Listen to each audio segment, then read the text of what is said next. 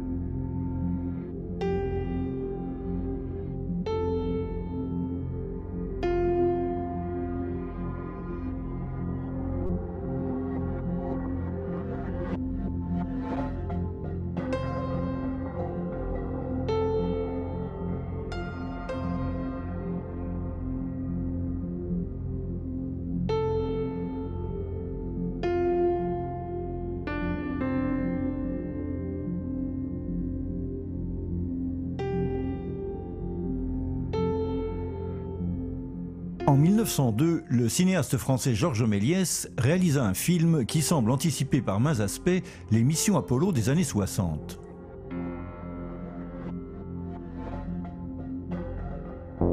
Le film de Méliès était évidemment une œuvre de fiction. Et les missions Apollo Furent-elles réelles ou bien seulement une version plus moderne et sophistiquée de la même fiction?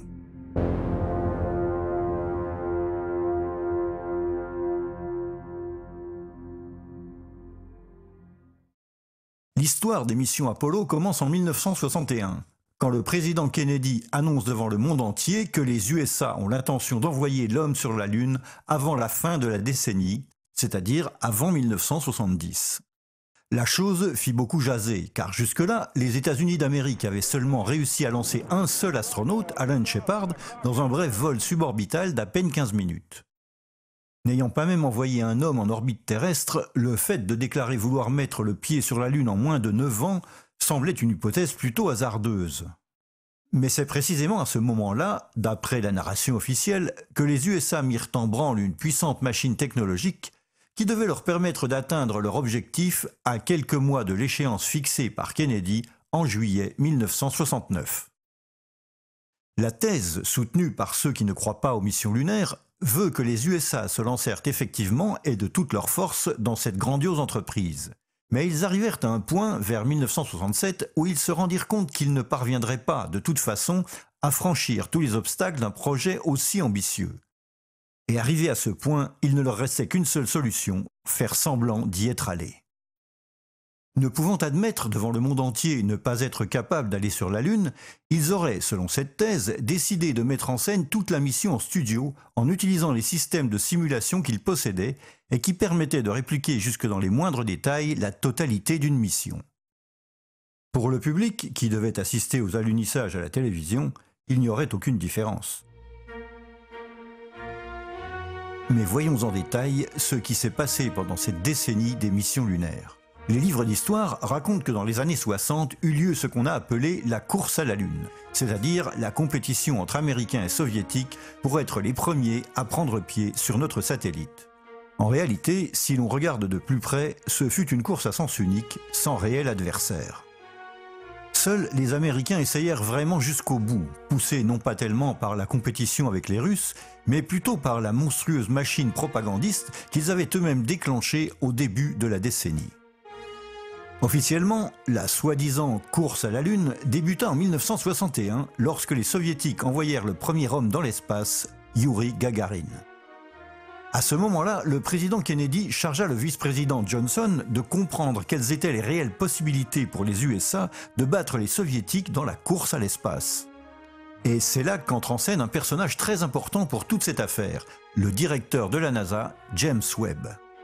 En effet, Johnson en parla avec Webb et après quelques jours, il fit parvenir sa réponse à Kennedy.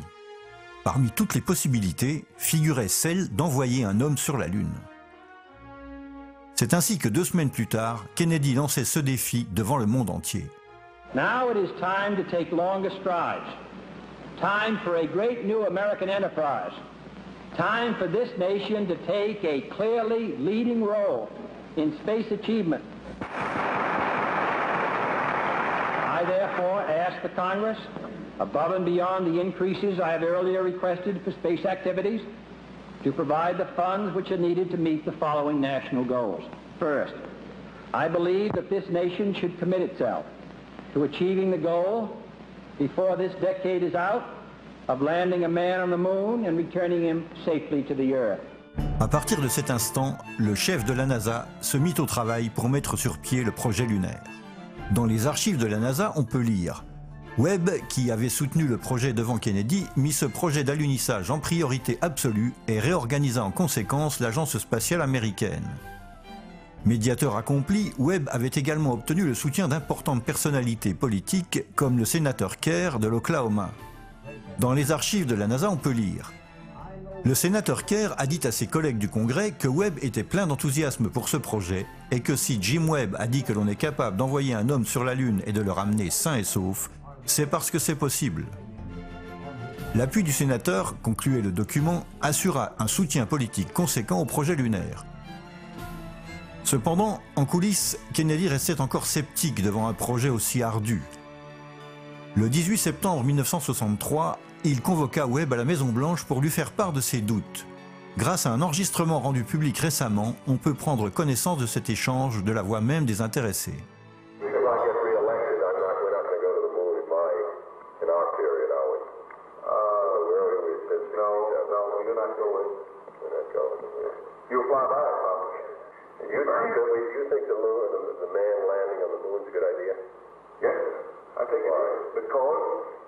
We can do the same with instruments much cheaper.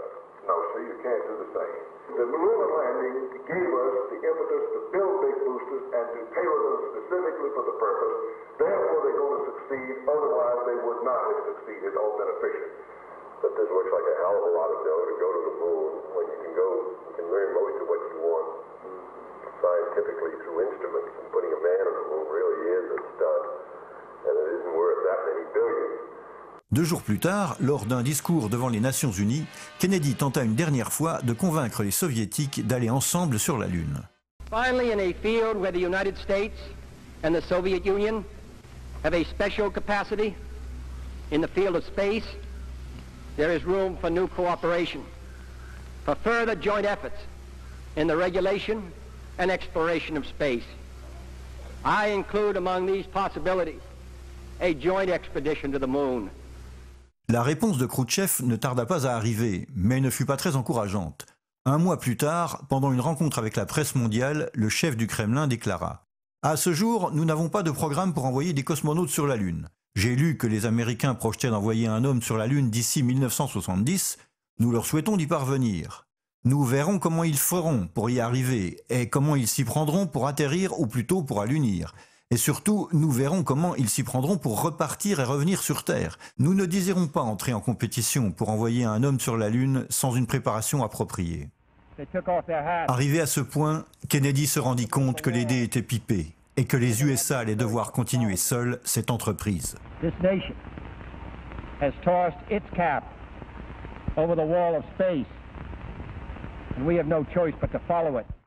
Le lendemain, Kennedy était assassiné à Dallas.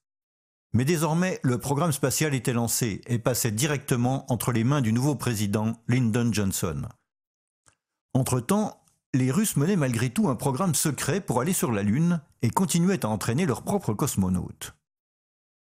Mais ce programme se termina très vite pour tout un tas de raisons. La première fut la mort impromptue de Sergei Korolev, le père du programme spatial russe. Routine surgery in January 1966, Karalyov died. The one figure with the authority and vision to galvanize the system behind the goal of beating the Americans had gone. L'homme qui avait lancé le premier satellite, le Sputnik, mis le premier homme en orbite, Gagarine, et conçu l'ensemble du programme spatial soviétique, était mort sans laisser de successeur. Il n'y avait alors personne capable de reprendre sa place. Cela engendra toute une série de dissensions internes au sein de l'agence spatiale russe et se traduisit par une série de désastres à la chaîne. Pas moins de quatre nouveaux lanceurs de type N1, conçus pour aller sur la Lune, explosèrent durant la phase de décollage. Cela marqua la fin du programme lunaire soviétique, comme le raconte Roald Sagdegev, ex-directeur de l'agence spatiale russe. Very uh, few people uh, remember that in parallel with American uh, Apollo program, Soviets uh, attempted uh, to have their own program.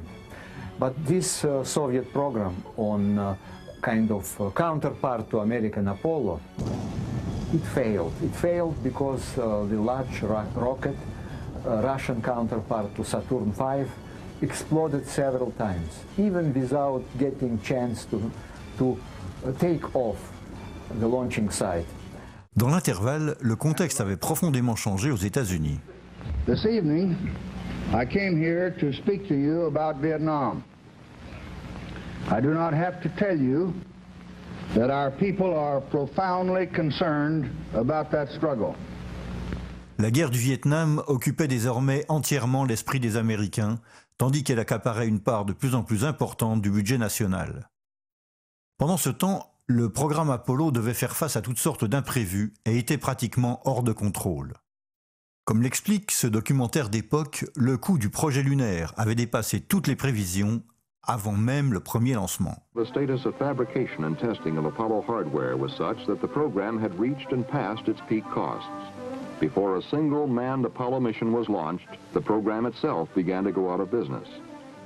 À l'automne 1965, le général Phillips, directeur du programme Apollo, présentait à ses supérieurs un rapport dénonçant sans détour l'état chaotique et le retard du programme lunaire.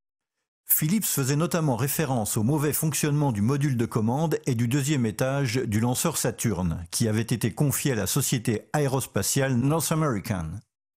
Après quatre ans et demi, écrivait Phillips, et un peu plus d'un an avant le premier lancement spatial, il demeure d'importantes difficultés techniques et des problèmes qui affectent le deuxième étage. Il reste certains problèmes techniques concernant les capacités du système électrique, la propulsion secondaire, l'intégrité structurelle, l'accroissement du poids, etc., qui doivent être encore résolus. Les programmes de certification retardés ou incomplets font fortement craindre le fait que nous n'aurons pas de lanceurs pleinement qualifiés pour supporter le programme lunaire. Phillips conclut ainsi nous avons de sérieux doutes sur le fait que la North American puisse honorer ses engagements quant au programme et à ses prestations dans le cadre des financements disponibles pour cette partie du programme Apollo. Lors d'une conversation avec le président Johnson, le directeur de la NASA, James Webb, se plaignit de l'absence de fonds nécessaires pour continuer le programme préétabli. North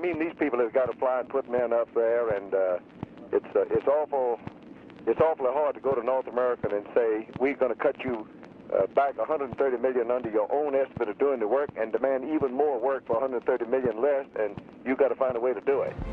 Et de fait, les problèmes dénoncés par Phillips, plutôt que de se résorber, continuaient de se multiplier, donnant lieu à une spirale de coûts additionnels et de nouveaux retards qui semblaient sans fin. Un réservoir du module de commande avait été éventré pendant la phase de test. Le système de contrôle de l'air dans le module de commande ne fonctionnait pas, et il fallut repartir à zéro. Le deuxième étage du lanceur Saturne avait explosé une première fois en 1965 et une nouvelle fois en 1966, retardant ainsi de façon considérable le plan de marche du programme Apollo. On découvrit ensuite des fissures dans la structure du lanceur principal et celle du réservoir de carburant. La confection du LEM, le module lunaire, se heurtait à mille problèmes et mille autres retards. They find hundreds of problems, things that weren't built right, weren't installed right, electrical wires that are frayed, possibly broken, and most alarming of all, there are fuel leaks everywhere in the system. Nous arrivons ainsi à l'année fatidique 1967, l'année de la crise. En janvier, Thomas Barron, un employé chargé des vérifications de la North American, présenta à ses supérieurs un rapport de 50 pages qui expliquait que les problèmes révélés dans le rapport Phillips n'avaient absolument pas été résolus. Parmi les principaux problèmes, Barron citait des soucis avec le personnel, avec les pièces de rechange, avec l'équipement et les procédures, sans parler du laisser-aller en matière de standards de sécurité et des incidents que cela avait provoqués. Dans son rapport, Barron dénonçait entre autres un manque de coordination entre les personnes occupant des postes à responsabilité, une absence de communication généralisée, le fait que les personnes occupant des postes à responsabilité ne prenaient pas au sérieux la plupart des problèmes. Et Barron ajoutait nous ne devrions pas mettre en danger la sécurité des astronautes au prétexte de respecter le tableau de marche. comme pour confirmer les prémonitions de Barron, le 20 janvier, le lanceur qui devait effectuer le premier voyage habité explosa lors de la phase de test. Et sept jours plus tard, survint la tragédie. Lors d'une simulation à terre d'Apollo 1, la première mission du lanceur Saturne avec des hommes à bord, les trois astronautes, Virgil Grissom, Edward White et Roger Sheffy, moururent sur la rampe de lancement, brûlés vifs à l'intérieur de la capsule qui aurait dû les emmener dans l'espace trois semaines plus tard. Notons que quelques instants avant de mourir, Grissom s'était plaint de la mauvaise communication entre la capsule et la tour de contrôle.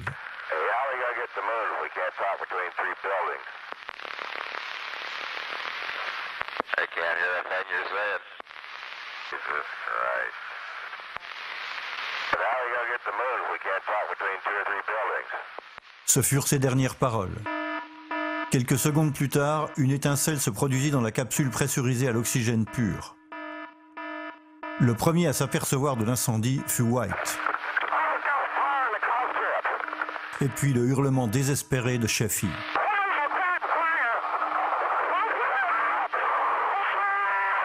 Et puis plus rien. En quelques secondes, c'était fini. Le programme Apollo fut suspendu pour une durée indéterminée avant même que la première capsule n'ait été lancée dans l'espace. La commission technique chargée de trouver les causes de l'incendie fut confiée à l'astronaute Frank Borman. Ses travaux conclurent que la capsule Apollo devait être revue de fond en comble depuis le début. Cela aurait généré au moins une année de retard dans un calendrier déjà extrêmement serré. Nombreux pensèrent à l'époque que le programme Apollo était fini avant même de commencer. That was quite a shock. I almost had to pull over to the side of the road, catch my breath because I thought, well, this is this is the end of our future. The program started to just churn. Churn and churn and churn. Pendant ce temps, les mois passaient et l'échéance de 1969 apparaissait toujours plus proche. En mars 1967, le directeur de la NASA, James Webb, se présenta devant la Commission des sciences et de l'astronautique. C'était un Webb très différent de celui qui avait soutenu avec enthousiasme le projet lunaire devant le président Kennedy. Si nous réussissons avant 1969, déclarait Webb, nous serons très très chanceux. Les probabilités de terminer tous les travaux nécessaires sont plus faibles actuellement qu'il y a un an. Et j'avais déjà témoigné devant cette même commission que les probabilités étaient plus faibles l'an dernier que l'année d'avant. Autrement dit, d'après le directeur de la NASA lui-même, plus l'échéance de la décennie se rapprochait, plus le rêve d'aller sur la Lune apparaissait comme irréalisable. Et ce même James Webb, un an après avoir fait ses déclarations, quitta brusquement la NASA. L'homme qui avait soutenu Kennedy depuis le début, l'homme qui décorait lui-même les astronautes de retour des premières missions en orbite terrestre, l'homme qui avait tout fait pour obtenir du Parlement les fonds nécessaires pour aller sur la Lune, abandonnait soudain le projet de sa vie à une encablure de sa réalisation. Moins de trois mois avant le lancement d'Apollo 8, qui devait pour la première fois faire le tour de la Lune, le 7 octobre 68, James Webb démissionnait de la NASA et se retirait dans la vie privée. Le vice-directeur de la NASA, Robert Simmons, avait lui aussi et de façon tout aussi inexplicable démissionné en janvier de la même année. Quand les journalistes du Washington Post lui demandèrent Il doit bien y avoir une raison pour laquelle vous abandonnez maintenant, pourquoi ne pas rester jusqu'à ce que nous parvenions sur la Lune? Il répondit tout simplement Je suis là depuis sept ans, je voulais juste faire deux ans. Mais il est clair qu'il y avait dû y avoir quelque chose d'autre et que sa démission avait un rapport avec la situation catastrophique dans laquelle se trouvait le projet Apollo. Encore plus surprenante fut la démission de l'astronaute Walter Schirra, annoncée quatre jours après celle de Webb. Schirra faisait partie des légendaires Mercury 7, le groupe originel d'astronautes de la NASA, qui était là depuis le début du programme spatial dans les années 50. Schirra avait déjà volé aussi bien dans des capsules Mercury qu'avec le projet Gemini, et de par sa longue expérience, il était certainement destiné à être envoyé sur la Lune avec le projet Apollo.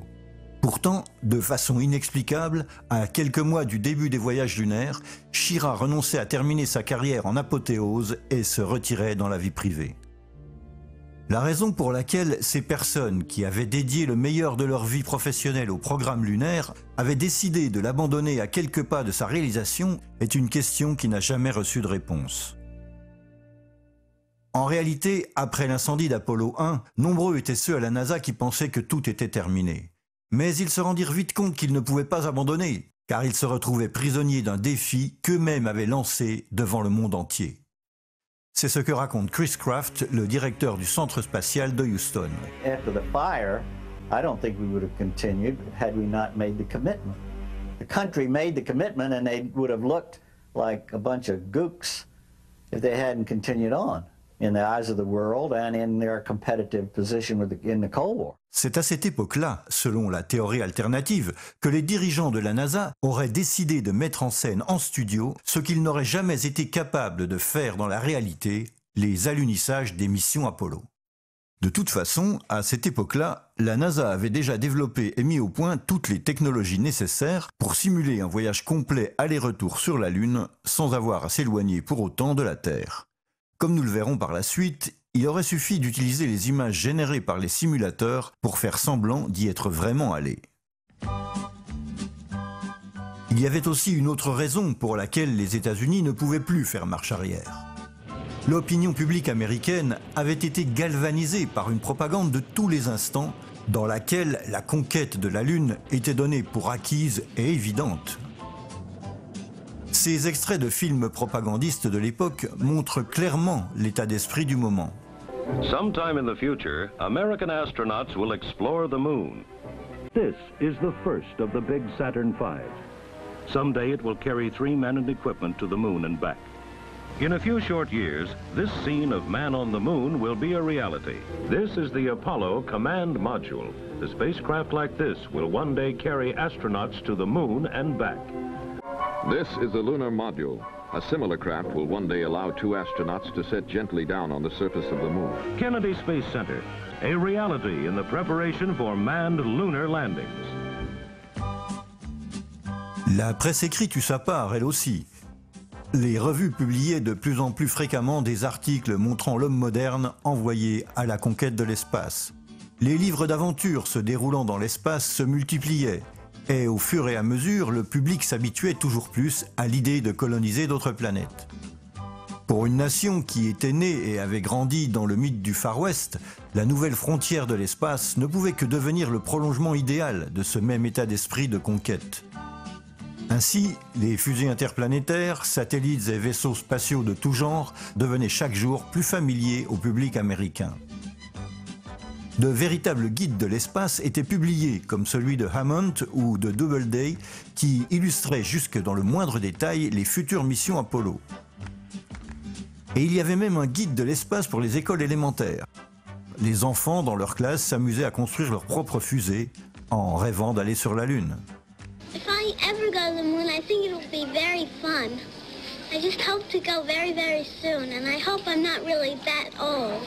Disney ne pouvait rater cette occasion. Ils avaient créé à Disneyland toute une section appelée Tomorrowland entièrement consacrée au voyage dans l'espace. En même temps, Disney publiait régulièrement livres et bandes dessinées dans lesquels les personnages les plus connus se rendaient dans l'espace. Il y avait aussi les albums à colorier pour enfants, avec le papa qui emmenait ses propres enfants visiter la Lune. Ou bien des livres contenant des maquettes de fusées en carton à découper avec les personnages des astronautes. Ou encore des livres en 3D montrant chaque détail de la vie dans la station spatiale. Et au centre de tout cela, il y avait toujours lui, l'astronaute, la nouvelle figure mythique qui avait remplacé le vieux héros du Far West dans l'imaginaire collectif. Dans une situation comme celle-là, avec cette propagande de tous les instants, une chose est certaine. Si la NASA s'était montrée incapable techniquement d'envoyer des hommes sur la Lune, ou si le faire était trop risqué, à ce point, ils auraient été obligés de faire semblant d'y aller. Il ne leur restait pas d'autre alternative. Avec une nation tout entière, les yeux rivés vers la nouvelle frontière, il n'était plus possible d'admettre la faillite du projet spatial sans voir s'écrouler toute la crédibilité du gouvernement américain aux yeux de sa population.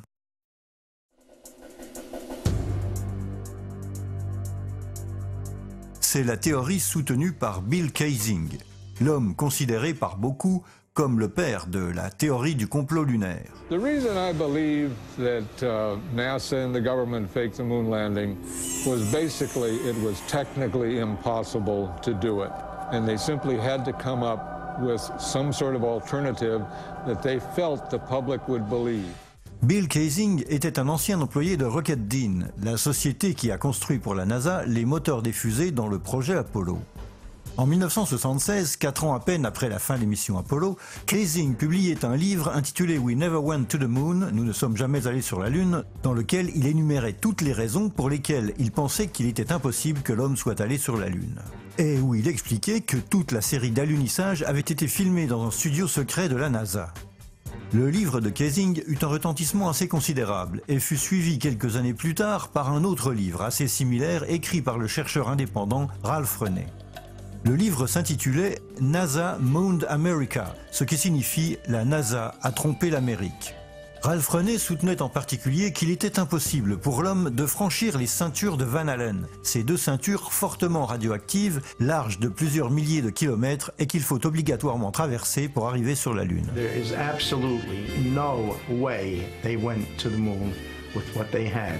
In fact, there's no way they can go today. There's no way they can go tomorrow. You don't send man where you haven't sent the monkey. Avec le temps, les théories de Ralph René et Bill Kaysing firent de nouveaux adeptes. Mais ce n'est qu'avec l'avènement d'Internet que la théorie du Moon Hoax, le canular lunaire, a commencé à se propager à l'échelle mondiale. Depuis Internet, la NASA a mis en ligne toutes les photographies haute définition prises lors des missions Apollo. Sont également disponibles toutes les vidéos et les enregistrements télévisés des voyages lunaires distribués officiellement par la société Spacecraft Films. Grâce à tout ce matériel, n'importe quel chercheur peut désormais examiner les images originales des missions lunaires. Cela a porté à une multiplication de livres et de documentaires toujours plus détaillés et approfondis qui remettent sérieusement en cause l'idée que l'homme soit réellement allé sur la Lune. Mais Hollywood a par moments également renforcé la thèse du canular. En 1979, dix ans après la première mission lunaire, sortait le film Capricorn One. Officiellement, le film raconte l'histoire d'une fausse mission sur Mars que la NASA met en scène depuis un studio télévisé afin d'éviter les risques d'une vraie mission dans l'espace.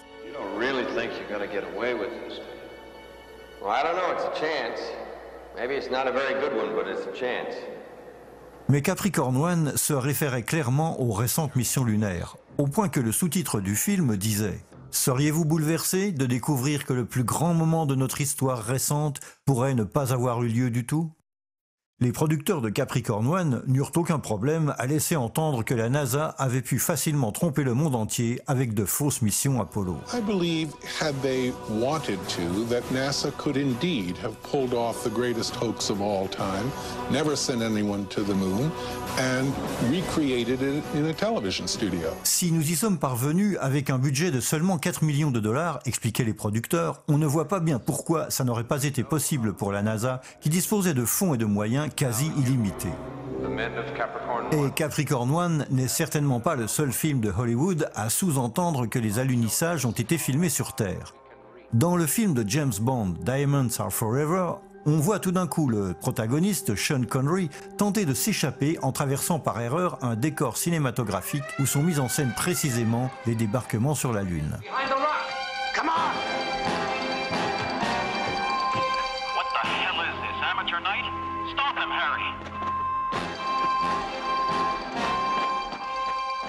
Dans le film des Minions également, le groupe de personnages se retrouve par hasard en train de traverser une scène de studio cinématographique où sont mis en scène les faux alunissages des missions Apollo. Et également dans Coneheads, le fameux film comique avec Dan Aykroyd. Les producteurs se moquent ouvertement de l'idée que l'homme soit jamais allé sur la Lune. Chicken embryos, seasoned patties of ground animal flesh. Mm, not really hungry. Just some tang. Ah, tang, the drink the astronauts took to the moon. Astronauts to the moon.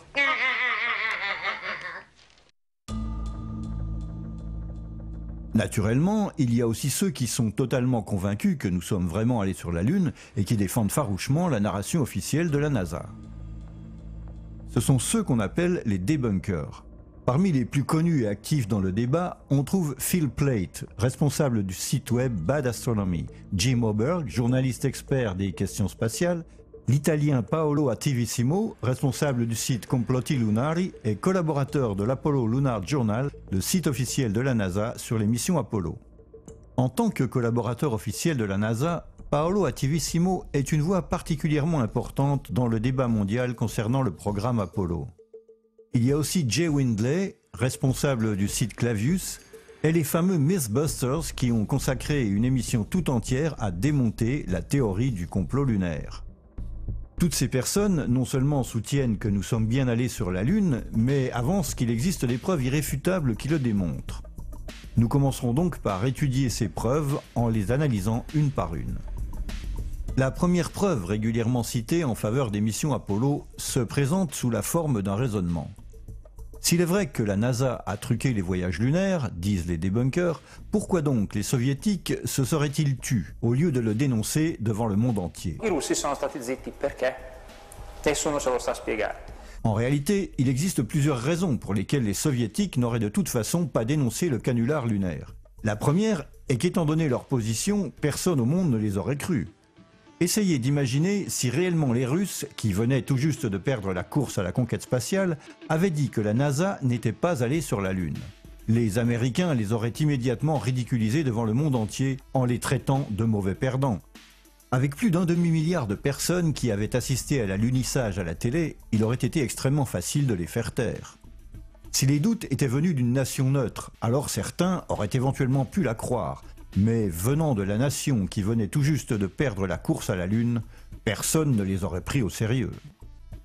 Il existe une deuxième raison, encore plus importante que la première, pour laquelle les soviétiques n'avaient pas forcément envie de dénoncer le canular américain. Alors que les missions Apollo étaient toujours en cours, des négociations avaient commencé entre soviétiques et américains pour un programme spatial commun. L'époque de Kennedy et de Khrouchtchev était révolue, et la présidence Nixon avait fait des pas importants vers un dégel des relations avec l'Union soviétique. We have opened a new relation with the Soviet Union. We must continue to develop and expand that new relationship so that the two strongest nations of the world will live together in cooperation rather than confrontation. Le 24 mai 1972, avec les missions Apollo toujours en cours, Nixon signait à Moscou le fameux accord de coopération spatiale avec les soviétiques. Et moins d'un an après la dernière mission Apollo, les astronautes américains se rendaient en Russie pour rencontrer leurs homologues soviétiques.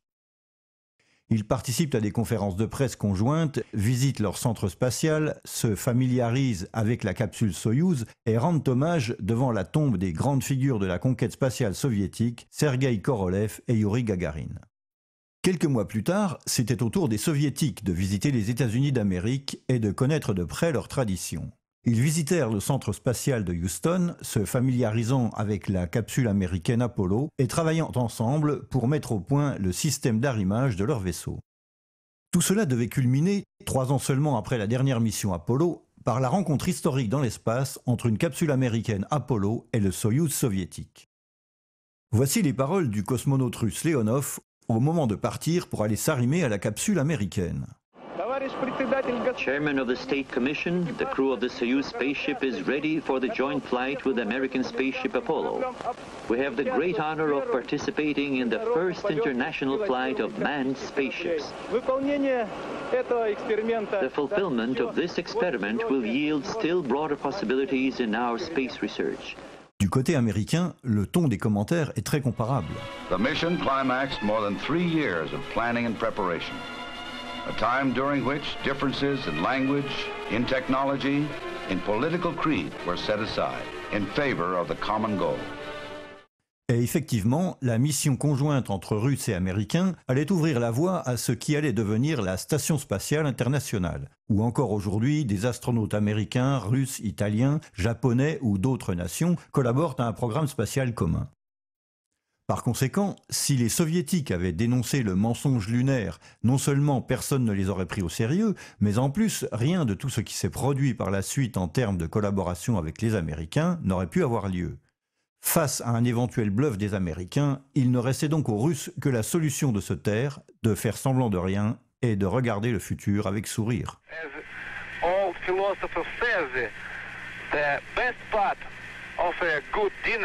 Is not what you eat, but with whom you eat.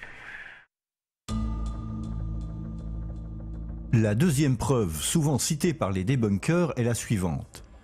Avec plus de 400 000 personnes impliquées dans le programme de la NASA, disent-ils, quelqu'un aurait forcément parlé. Poi vabbè, si può considerare una cosa molto banale. All'operazione Luna parteciparono 400.000 tecnici di società private, non militari, non era un'operazione di quattro gatti che lanciano un missile. Quindi tutta questa gente in 40 anni non ha mai confessato nulla. Mais ce sont précisément les prémices de ce raisonnement qui sont faussées. Il n'est écrit nulle part que chacune des 400 000 personnes employées par la NASA devait être au courant d'un éventuel plan pour falsifier les alunissages. Au contraire, le travail de préparation des voyages lunaires fut confié par la NASA à des milliers de sociétés différentes, réparties sur tout le territoire américain et qui travaillaient de façon totalement indépendante les unes des autres. Les employés de Grumman s'occupaient de la confection du module lunaire dans leur établissement de Long Island. Les employés de ELC travaillaient à la fabrication des combinaisons spatiales dans leur laboratoire du Delaware. Ceux de Boeing travaillaient sur la Jeep lunaire dans l'État de Washington. Les employés de McDonnell Douglas s'occupaient de la réalisation de la fusée Saturn dans leur siège de Californie. Ceux de General Motors travaillaient sur les réservoirs du module de commande dans leur établissement de l'Indiana. Indépendamment de la Lean Group qui développait et mettait au point les simulateurs de vol dans son siège de New York. De fait, comme l'explique ce documentaire de l'époque, il y avait quasiment 20 000 sociétés différentes dans tous les États-Unis qui travaillaient en même temps au projet Apollo. More than 90% of the work is conducted by contractors spread across the nation. In fact, some 20,000 prime contractors, subcontractors, and suppliers, located in virtually every state, are participating in the manned spaceflight programs. L'idée que toutes ces personnes devaient forcément être mises au courant d'un plan pour falsifier les alunissages est tout simplement ridicule. Quand un joueur de foot décide de truquer un match, il n'informe pas le reste de l'équipe de ses intentions. Il met en œuvre son plan tout seul, et les premiers à être piégés sont précisément ses coéquipiers. Un autre exemple est celui du scandale de Volkswagen. En 2015, on a découvert que Volkswagen avait trompé le monde entier en mettant sur le marché des véhicules qui n'étaient pas en règle avec les niveaux d'émissions de gaz de leur moteur. Mais cela ne signifie pas que l'ensemble des 600 000 employés de Volkswagen aient été au courant de l'arnaque en cours. Il suffisait d'un groupe relativement réduit de techniciens et de dirigeants pour faire cela, sans que les autres soient au courant pour autant. Dans le cas des missions Apollo, il aurait également suffi qu'un groupe restreint de dirigeants de la NASA soit au courant de la tromperie pour que cela se réalise, à l'insu de tous les autres. Il aurait suffi de prendre le contrôle du signal télé qui arrivait aux stations réceptrices situées sur Terre durant les alunissages des missions Apollo.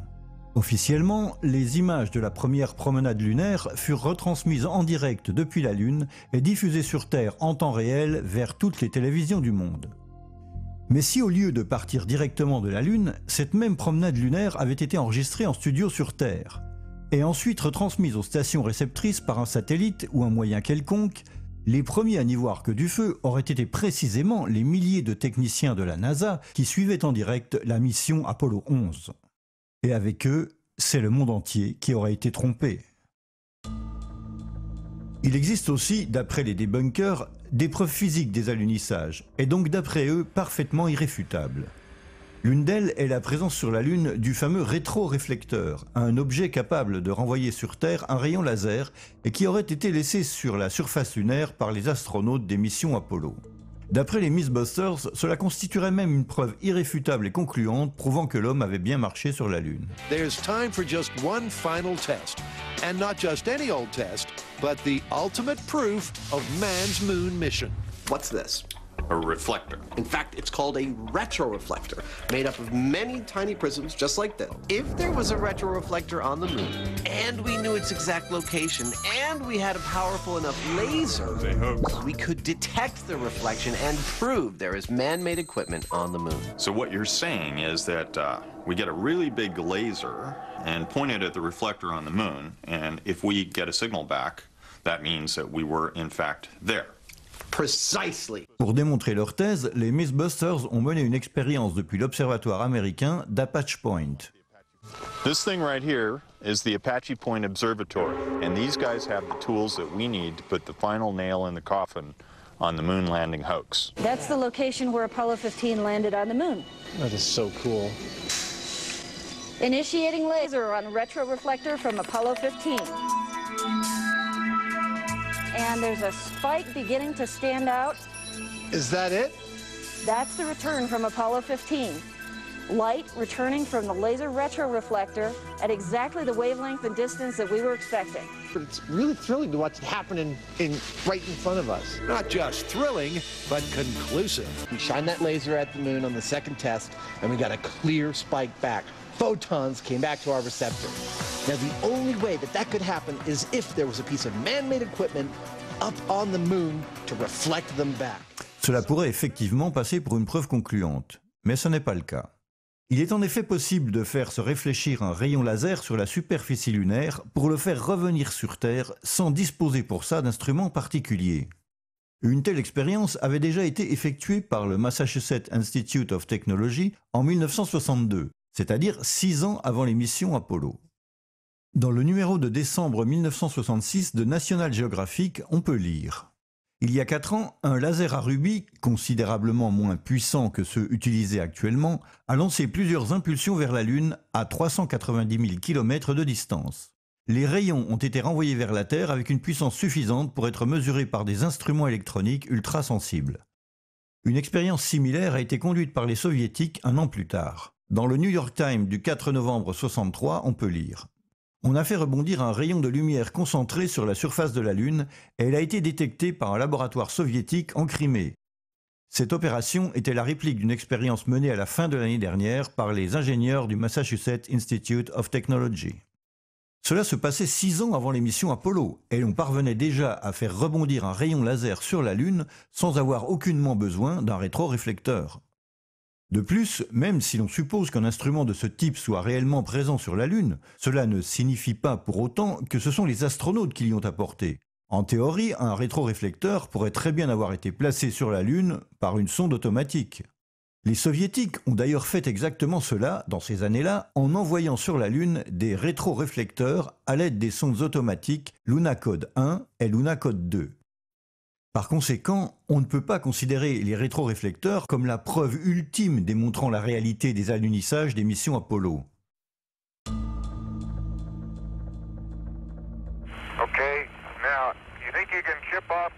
Une autre preuve souvent avancée en faveur des alunissages est celle des roches lunaires, c'est-à-dire tous les exemplaires de matériel rocheux que les missions Apollo auraient rapportés sur Terre. Étant de composition différente de celle des roches terrestres, disent les débunkers, les roches lunaires sont la preuve tangible que l'homme a vraiment été sur la Lune. Le site de debunking Clavius écrit ceci. Les échantillons de terre lunaire rapportés par les missions Apollo sont considérés par beaucoup comme la preuve la plus convaincante de la réalité des missions. Sur son propre site, la NASA écrit Les roches lunaires et le bon sens montrent que les astronautes d'Apollo ont vraiment marché sur la Lune. En réalité, ces soi-disant roches lunaires en elles-mêmes ne démontrent rien du tout. Même si l'on accepte le fait que leur composition est différente de celle des roches terrestres, il faut rappeler que de nombreuses météorites provenant de la Lune ont été découvertes en Antarctique. Well, I got a phone call once, a fellow at the Smithsonian, and he said, Jerry, we have now a meteorite which I just brought back from Antarctica, which is from the moon. The whole assembly of scientists attacked this object, and at the end of a year and a half, the conclusion was It was a moon rock. It was unambiguously a moon rock. Il est d'ailleurs assez curieux de voir que Werner von Braun, avec d'autres collègues de la NASA, a visité l'Antarctique précisément en 1967, un an avant le début des missions lunaires. Comme le rapporte la New World Encyclopedia, cette expédition fut la première à ratisser systématiquement la surface gelée à la recherche de météorites que l'on disait provenir de la Lune, et qui devaient par la suite être utilisés comme matériaux de référence. Rien n'empêche donc que ces matériaux de référence aient été utilisés comme des originaux après les missions Apollo.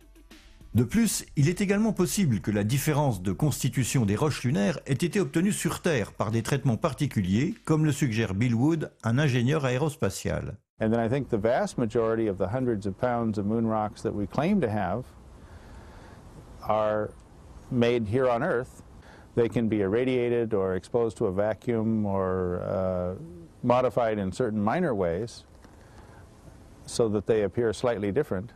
De fait, en 2009, l'affaire a fait sensation lorsqu'on s'est aperçu qu'une roche lunaire donnée par les Américains au musée d'Amsterdam était en réalité un morceau de bois pétrifié. Un faux de mauvaise qualité donc, présenté au monde comme si c'était une rare et précieuse roche lunaire. Mais même en admettant que ces roches proviennent effectivement de la Lune, elles auraient pu être prélevées par une sonde automatique et pas nécessairement par des hommes. Encore une fois, les soviétiques firent la même chose au cours de la même période, avec les missions des sondes automatiques Luna 16, 20 et 24. En aucun cas, donc, indépendamment de leur origine et de leur composition, les soi-disant roches lunaires ne peuvent être considérées comme une preuve que l'homme a marché sur la Lune. Compte tenu de tout ceci, on peut même se demander pourquoi la NASA a ressenti le besoin d'affirmer que ces roches étaient la preuve des missions Apollo, alors qu'ils sont les premiers à savoir que ce n'est pas le cas. D'après les débunkers, les panoramas que l'on voit sur les images des missions Apollo sont trop grands pour avoir été réalisés en studio sur la Terre. Se noi prendiamo le fotografie, questa è la missione Apollo 11, possiamo, si.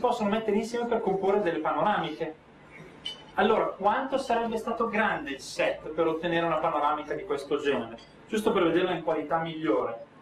Questo è eh, Neil Armstrong che, che fotografa Aldrin, clic, clic, clic, clic, in questo modo.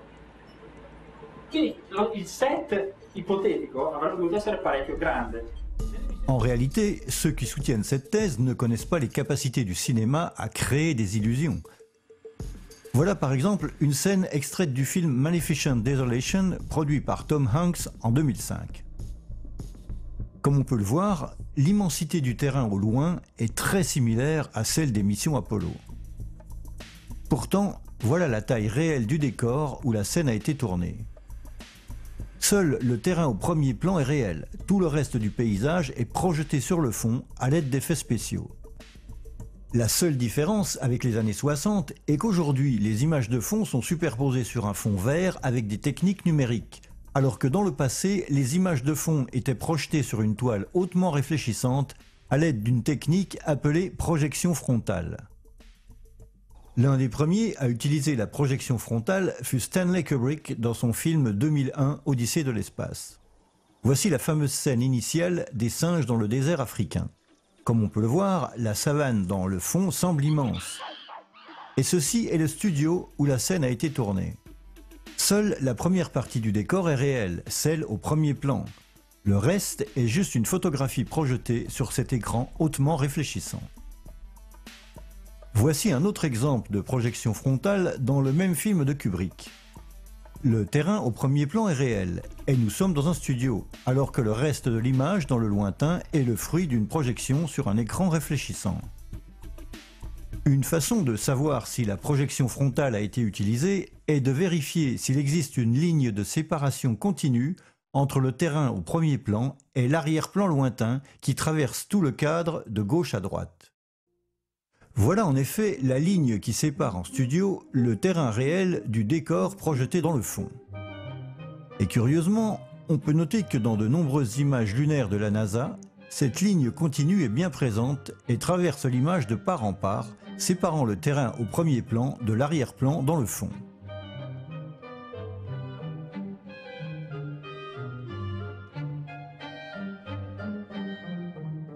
En outre, si l'on étudie certains panoramas des lieux d'alunissage pris à 360 degrés, on découvre que la ligne continue qui sépare le terrain au premier plan du fond avec les collines est pratiquement ininterrompue sur les 360 degrés, quelle que soit la direction dans laquelle on regarde. Cela veut dire soit que les astronautes ont atterri sur une espèce de cône tronqué séparé à 360 degrés des collines alentours, ou que les images ont été réalisées en studio et la ligne continue qui les entoure n'est rien d'autre que la séparation entre le décor réel et le fond artificiel.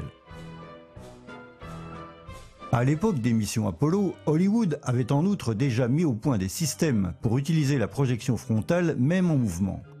Et il aurait donc été possible de réaliser des scènes en mouvement avec les collines en arrière-plan projetées sur un fond lumineux. Une autre technique pour obtenir un résultat similaire est celle des fonds peints, comme dans cet exemple de film de Hollywood des années 50. Nicola Pecorini a longtemps travaillé à Hollywood comme opérateur et directeur de la photo pour des films avec Stallone, Terry Gilliam et bien d'autres encore.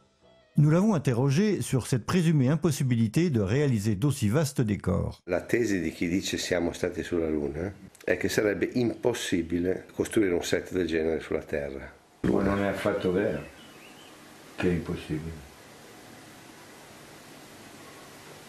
Cioè, è dagli anni 30 che fanno set, perché non è che devi costruire il set fisicamente fino là, cioè, tu costruisci e poi, e poi ci sono dei backdrops.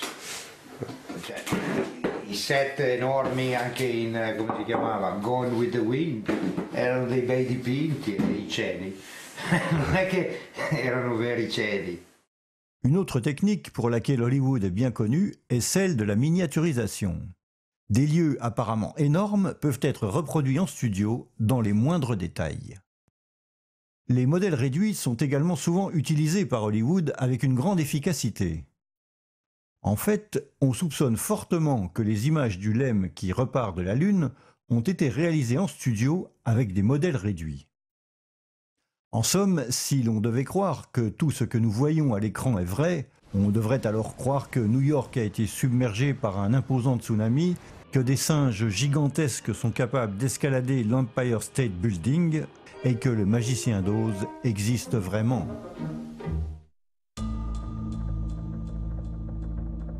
Une autre preuve des alunissages, selon qui soutient la NASA, est l'ensemble des images de la Lune transmises vers la Terre ces dernières années par les diverses sondes spatiales.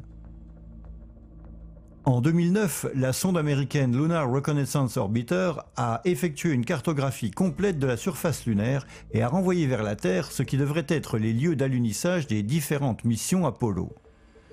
Il est naturellement très difficile de considérer ces images comme des preuves effectives des alunissages, quand c'est la NASA elle-même qui est soupçonnée d'avoir falsifié les photos des six missions lunaires dans les années 60. Aujourd'hui, un adolescent doté de Photoshop pourrait produire des images similaires en moins d'une demi-heure. Le cas de la sonde japonaise Kaguya est légèrement différent. En 2008, cette sonde a cartographié l'ensemble de la surface lunaire et a transmis des données topographiques qui nous permettent de reconstruire par ordinateur la morphologie du sol lunaire. Selon les débunkers, le fait que les images de la sonde Kaguya présentent un terrain très similaire à ceux vus sur les photographies des missions Apollo serait la preuve que les missions auraient réellement existé. Un des exemples que les débunkers utilisent le plus souvent est celui du fameux Hadley Reel, cette espèce de canyon creusé dans la surface lunaire et où aurait aluni la mission Apollo 15. E Ovviamente gli oggetti in primo piano non ci sono perché l'altimetro non riesce a, a, a definire anche i sassolini più piccoli, ma le colline sullo sfondo sono assolutamente identiche. Allora, come faceva la NASA ad avere delle fotografie 40, quasi 40 anni fa di un luogo sulla Luna con la forma esattamente giusta che poi 40 anni dopo noi siamo riusciti ad andare a verificare? Come faceva? Mistero. En réalité, il n'y a là aucun mystère. Comme le confirme ce documentaire de 1966, la NASA avait déjà envoyé des sondes pour explorer en détail la morphologie des lieux d'alunissage bien avant le début des missions Apollo. Charting actual landing sites for the astronauts is the job of Lunar Orbiter. Two of the 850-pound satellites have orbited the moon, photographing and mapping wide areas, sometimes sweeping as low as 25 miles above the surface. Here are some of the pictures, pictures helping to determine the height and slope of lunar mountains and the depth of craters. Les relevés étaient si précis que la NASA avait construit une énorme map monde sur laquelle était reporté de façon extrêmement précise chaque détail de la surface lunaire. Il aurait donc suffi de filmer la surface en mouvement de cette map monde en utilisant par exemple ce rail circulaire pour donner l'impression d'être réellement en train de voler autour de la Lune.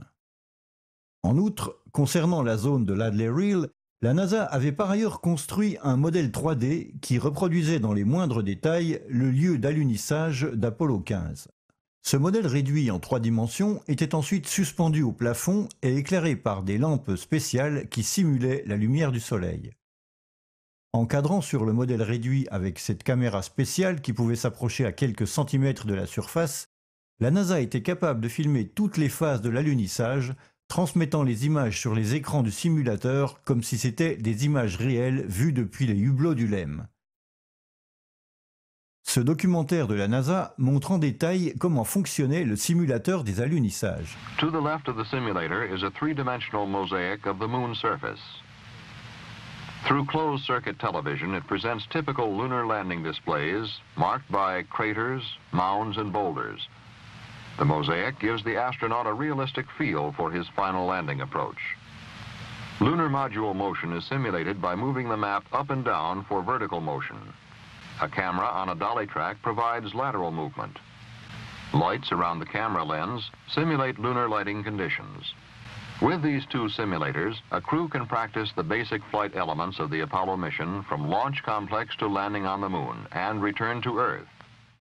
Comme on peut le voir, les images produites par le simulateur ressemblent tellement à celles du vrai alunissage que la question initiale des débunkers peut être inversée.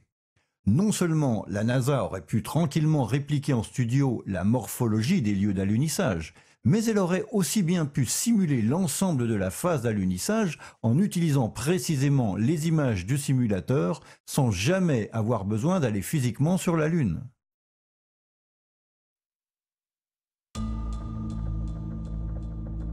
La possibilité de vérifier de près les lieux des alunissages s'est présentée en 2007, lorsque Google a lancé le concours international Lunar X. Ce concours offrait une récompense de 30 millions de dollars à la première organisation privée qui réussirait à envoyer un robot sur la Lune capable de parcourir au moins 500 mètres en transmettant les images en direct vers la Terre. Take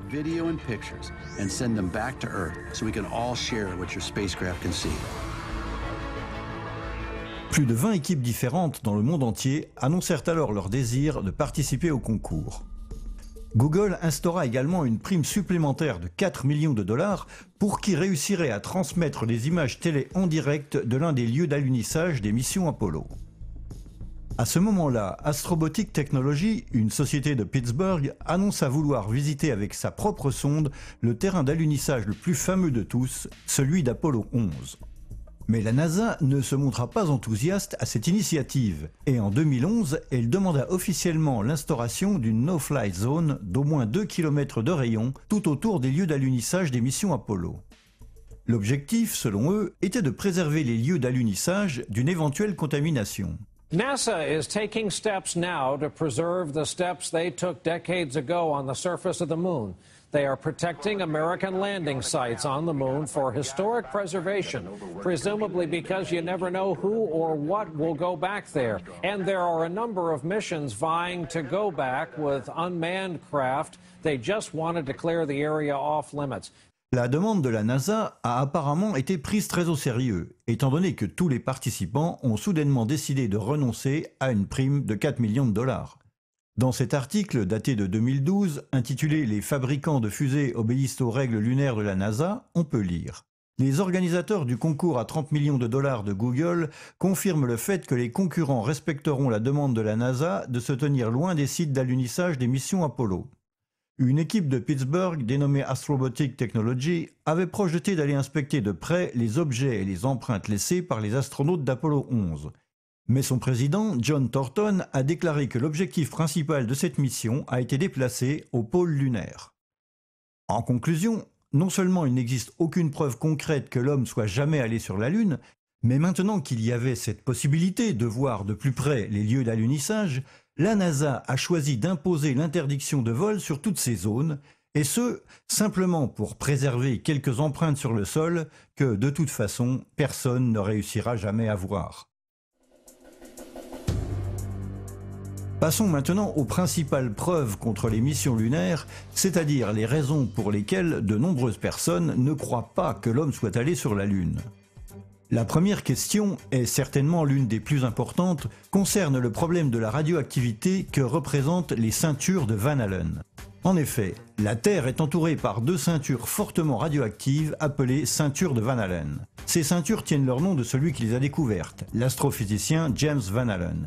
Les formations qu'il a découvertes s'étendent d'un minimum de 1500 km jusqu'à un maximum de presque 40 000 km de la surface terrestre. Jusqu'à ce jour, toutes les missions spatiales avec des hommes à bord, des capsules américaines Gemini au Soyouz soviétique, des missions de la navette à celles de la Station spatiale internationale, se sont tenues bien en dessous de la zone dangereuse de radiation, suivant ce qu'on appelle l'orbite terrestre basse. Les seuls hommes dans l'histoire à avoir jamais traversé les ceintures de Van Allen seraient les astronautes des missions Apollo. Cette traversée pose cependant des problèmes qu'aujourd'hui encore personne ne semble avoir résolus. Voyons de plus près l'histoire des ceintures de Van Allen.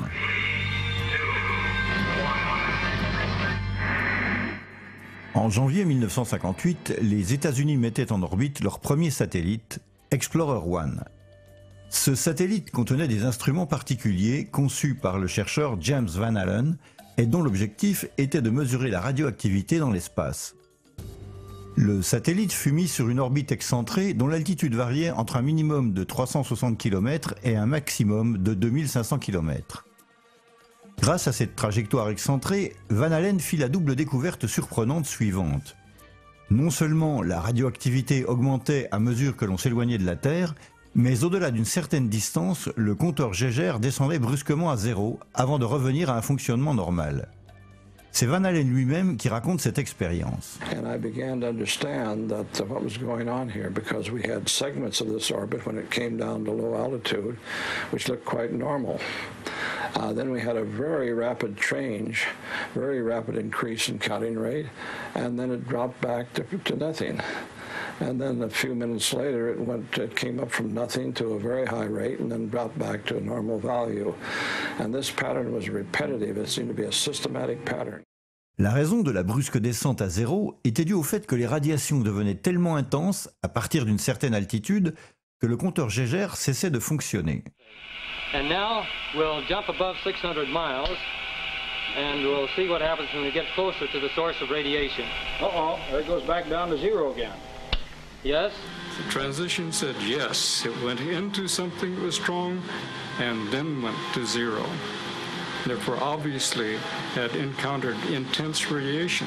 C'est ainsi que furent découvertes les fameuses ceintures de Van Allen. Deux zones circulaires situées dans la magnétosphère qui protègent la vie sur notre planète en piégeant en leur sein les radiations les plus dangereuses provenant du cosmos.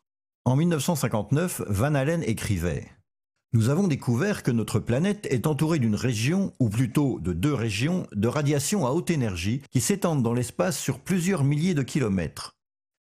Cette découverte, écrivait Van Allen, est bien évidemment préoccupante pour les astronautes. Le corps humain devra d'une manière ou d'une autre être protégé de ces radiations, même pour un court passage à travers cette région de l'espace.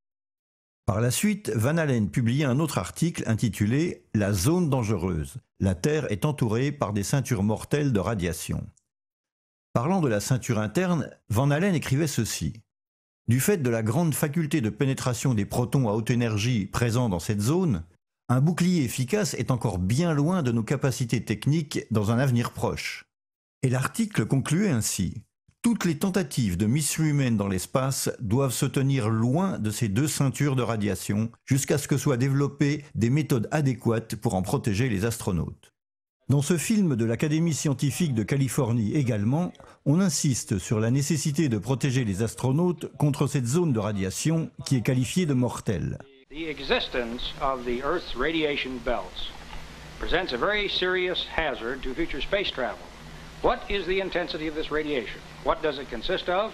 How much shielding will the first space travelers need in order to penetrate these deadly areas of radiation safely? La nécessité de développer de nouvelles technologies pour se protéger des radiations était perçue comme un besoin très clair par le président Kennedy lui-même. Third, medical space research may lead to new safeguards against hazards common to many environments. Specifically, our astronauts will need fundamentally new devices to protect them from the ill effects of radiation. Les soviétiques aussi, naturellement, craignaient les effets des radiations venues de l'espace sur le corps humain. Of course, we were worried to go out into the unknown of space. Of course, we were fearful. We had no idea how a human would be affected by the radiation. We suspected that possibly the radiation could even penetrate through the craft itself. Et de fait, la NASA avait pris cette affaire très au sérieux, mettant au point des systèmes pour étudier la tolérance humaine aux effets des radiations. At Kirtland Air Force Base, New Mexico, development of a plastic man with the same atomic composition as human tissue enables scientists to accurately determine the depths of radiation penetration as well as doses without actual human exposure. Il se produisit cependant une chose assez curieuse par la suite. Quand vint le moment de lancer les premiers astronautes vers la Lune, le problème des radiations semblait avoir magiquement disparu. Sans que soit mise au point une quelconque technique de protection, et sans même avoir envoyé d'abord un singe dans l'espace à travers les régions radioactives, en 1968, la première fusée Apollo 8 était lancée vers la Lune. Ce fut la première à devoir traverser les ceintures de Van Allen. La capsule dans laquelle voyageaient les astronautes possédait seulement une fine couche d'aluminium sans aucune protection spécifique contre les radiations. No, no, the, the walls of the craft were made as thin and light as possible. The Apollo capsule itself was, uh, was made unusually thin. Uh, in fact, they couldn't even initially uh, carry uh, enough air inside to be the equivalent to sea level air pressure. They ran it at reduced pressure in order to be able to make the walls thinner. Frank Borman, Jim Lowell et Bill Anders furent les trois premiers êtres humains à traverser les ceintures radioactives. Pourtant, pendant leur mission, cela ne sembla pas les préoccuper le moins du monde. Voici les images des trois astronautes alors qu'ils se trouvent à mi-chemin entre la Terre et la Lune. Pourtant, on dirait que le sujet de conversation le plus intéressant est le comportement de la brosse à dents en l'absence de gravité.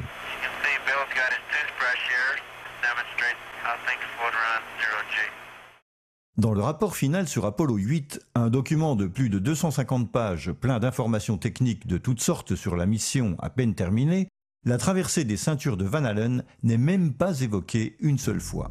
C'était comme si le problème des radiations et tous les risques annoncés par Van Allen n'avaient tout d'un coup jamais existé. Après Apollo 8, huit autres missions ont suivi la même route, traversant chacune par deux fois, une à l'aller et l'autre au retour, les ceintures de Van Allen. Certains des bunkers soutiennent que le problème des ceintures de Van Allen a été résolu en choisissant une trajectoire de sortie et de retour qui évite la zone la plus dense en radiation. À ce propos, sur le site de debunking Clavius, on peut lire Les navigateurs d'Apollo choisirent une route qui traversait la partie la plus fine des ceintures. Chaque mission a suivi une trajectoire légèrement différente, mais l'inclinaison orbitale de la trajectoire lunaire a toujours été d'environ 30 degrés. En suivant cette trajectoire, explique le site Clavius, un vaisseau pouvait tout éviter sauf les bords les plus externes des ceintures de Van Allen. Paolo Attivissimo écrit lui aussi dans son livre Pour les contourner ou pour passer à travers les zones les moins intenses, il suffit d'adopter une trajectoire judicieusement inclinée. C'est ce qu'ont fait tous les vaisseaux des missions Apollo, à l'aller comme au retour. Mais cette affirmation est démentie par la NASA elle-même. Par exemple, pour la mission Apollo 14, la NASA explique la trajectoire lunaire était plus proche de l'équateur géomagnétique que les missions précédentes, ce qui fait que le vaisseau a traversé le cœur même des ceintures radioactives. De toute façon, la NASA a toujours minimisé le problème, publiant des tableaux montrant que les radiations reçues par les astronautes étaient bien en dessous des seuils d'alerte. À ce propos, la NASA a écrit Les doses reçues par les astronautes d'Apollo étaient négligeables en termes de conséquences médicales ou biologiques qui aurait pu compromettre les fonctionnalités humaines dans l'environnement spatial. Et même selon les débunkers, une mission lunaire de quelques jours comme celle d'Apollo expose à des radiations globalement équivalentes à celles d'une radiographie ou à trois ans de vie sur Terre. Problème résolu donc. Évidemment, Van Allen s'était trompé quand il disait qu'il serait nécessaire de protéger les astronautes des rayonnements radioactifs, même pour un court passage à travers cette région de l'espace. Cela étant dit, il reste un dilemme à résoudre. Puisque le problème a été si brillamment résolu dans les années 60, comment se fait-il, alors que la NASA annonce vouloir retourner sur la Lune avec les missions Orion, que les ceintures de Van Allen recommencent à être classées comme dangereuses? My name is Kelly Smith and I work on navigation and guidance for Orion. we are headed 3,600 miles above Earth, 15 times higher from the planet than the International Space Station. As we get further away from Earth, we'll pass through the Van Allen belts, an area of dangerous radiation. Radiation like this could harm the guidance systems, onboard computers, or other electronics on Orion. Naturally, we have to pass through this danger zone twice, once up and once back. But Orion has protection. Shielding will be put to the test as the vehicle cuts through the waves of radiation. Sensors aboard will record radiation levels for scientists to study. We must solve these challenges before we send people through this region of space. Mais comment ça? Nous devons relever ces défis avant d'envoyer des personnes dans cette région de l'espace. Dans les années 60, les radiations reçues par les astronautes d'Apollo étaient équivalentes à celles d'une simple radiographie, et aujourd'hui, nous devons relever ces défis avant d'envoyer des personnes dans cette région de l'espace Nous sommes donc face à une situation assez déconcertante. Jusqu'en 68, les ceintures de Van Allen étaient considérées comme très dangereuses par la communauté scientifique. Puis, pendant les missions Apollo, tout d'un coup, elles ne présentent plus de danger et on peut les traverser tranquillement et aujourd'hui, elles sont de nouveau considérées comme très dangereuses. Curieusement, les astronautes modernes disent aussi que nous ne sommes pas encore en mesure d'aller au-delà de l'orbite basse et que peut-être un jour nous serons capables d'aller sur la Lune ou sur d'autres planètes. plan that NASA has is to build a rocket called SLS, which is a heavy lift rocket. It's something that is that is much bigger than what we have today, and it will be able to launch the Orion capsule with humans on board, as well as uh, landers or other uh, components to to destinations beyond Earth orbit. Right now, we only can fly in Earth orbit. That's the farthest that we can go. And this new system that we're building is going to allow us to go beyond and hopefully take humans into the solar system to explore. So the moon, Mars, asteroids, there's a lot of destinations that we could go to, and we're building these building block components in order to allow us to do that eventually. Et ce n'est pas l'interview de l'astronaute Alan Bean, l'un des participants à la mission Apollo 12, qui va nous aider à clarifier la situation. En théorie, Bean est l'un des rares êtres humains à avoir traversé les ceintures de Van Allen. Pourtant, il n'est pas sûr de les avoir jamais atteintes, mais en plus, il ne sait même pas où elles se trouvent. Any ill effects from the Van Allen radiation belts? No, now I'm not sure we went far enough out to, to encounter the Van Allen radiation belt. Maybe we did. Et écoutez ce que répond Bean quand on lui explique que les ceintures de Van Allen se trouvent entre la Terre et la Lune.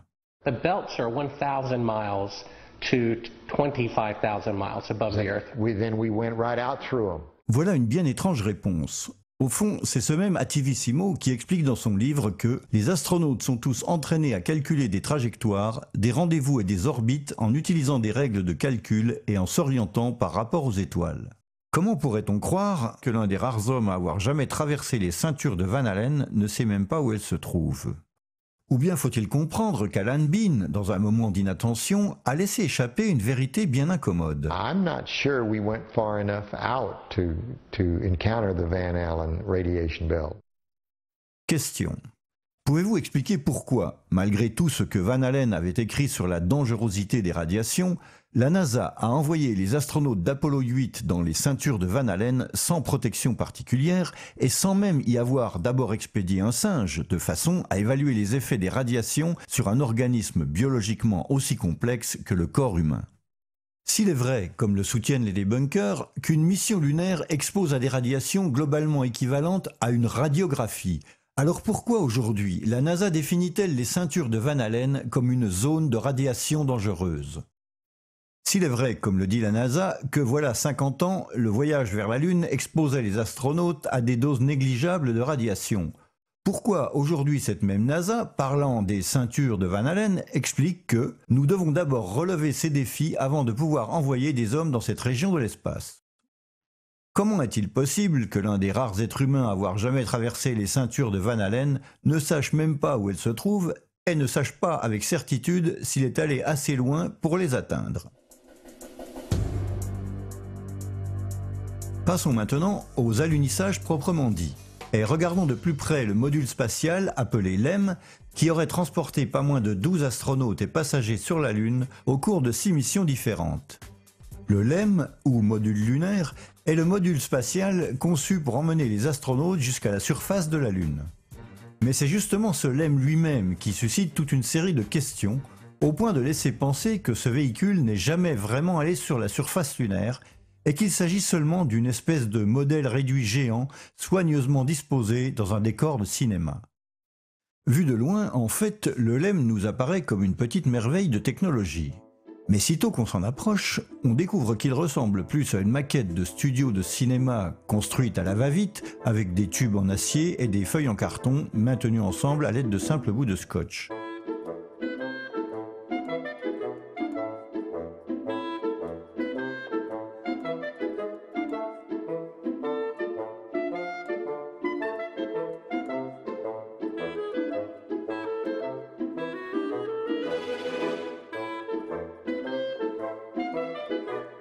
Ce qui frappe surtout, c'est l'usage massif de scotch, collé n'importe comment et un peu partout, comme s'il s'agissait de retouches faites au dernier moment. Avec des températures qui dépassent les 100 degrés au soleil, cela ne semble pas une bonne idée d'utiliser du scotch partout comme cela. Les debunkers soutiennent que l'usage du scotch a fait l'objet d'un choix motivé et précis. Si vede addirittura, addirittura che è unito con lo scotch. Quindi era un simulacro di cartapesta.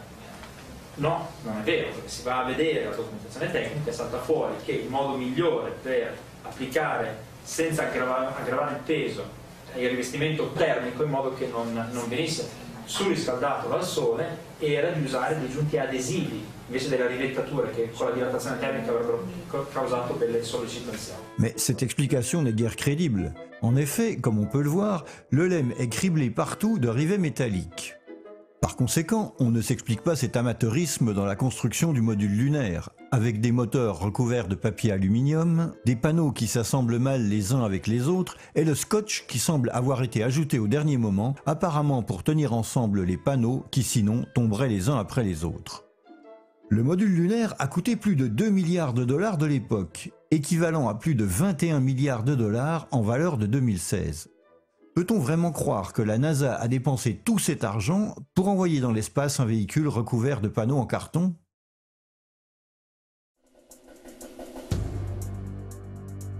Le second problème que pose le LEM, c'est que sur le terrain situé en dessous, il n'apparaît aucune marque dans le sable, alors que celui-ci aurait dû être chassé par le souffle du moteur.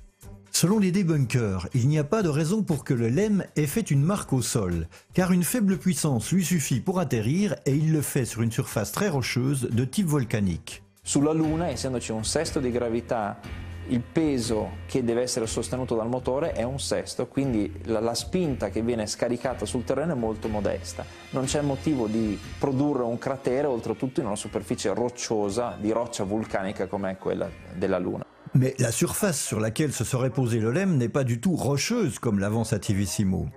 C'est Neil Armstrong lui-même qui contredit cette affirmation lorsqu'il décrit un terrain recouvert de poussière très fine. although the surface appears to be uh, very, very fine grained as you get close to it. It's almost like a powder.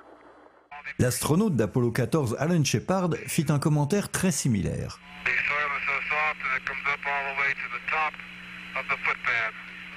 James Irwin, astronaute d'Apollo 15, parlait même d'une couche de terrain mou, profonde d'environ 15 cm, tout autour des pieds du LEM.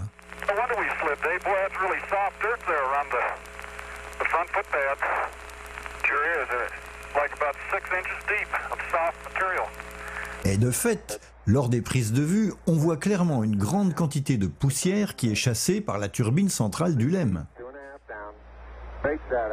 Mais alors, pourquoi n'y a-t-il pas de marque au sol? Cette animation nous aide à comprendre encore mieux ce qui devrait se passer durant l'alunissage.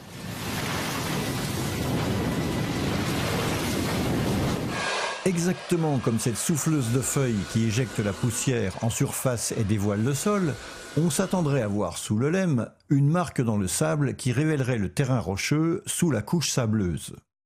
Mais il n'y a pas de telle trace. Cette animation montre l'atterrissage simulé de la sonde Phoenix sur Mars qui s'est déroulé en 2008. Comme on le voit, Phoenix utilise aussi des réacteurs pour descendre et se poser.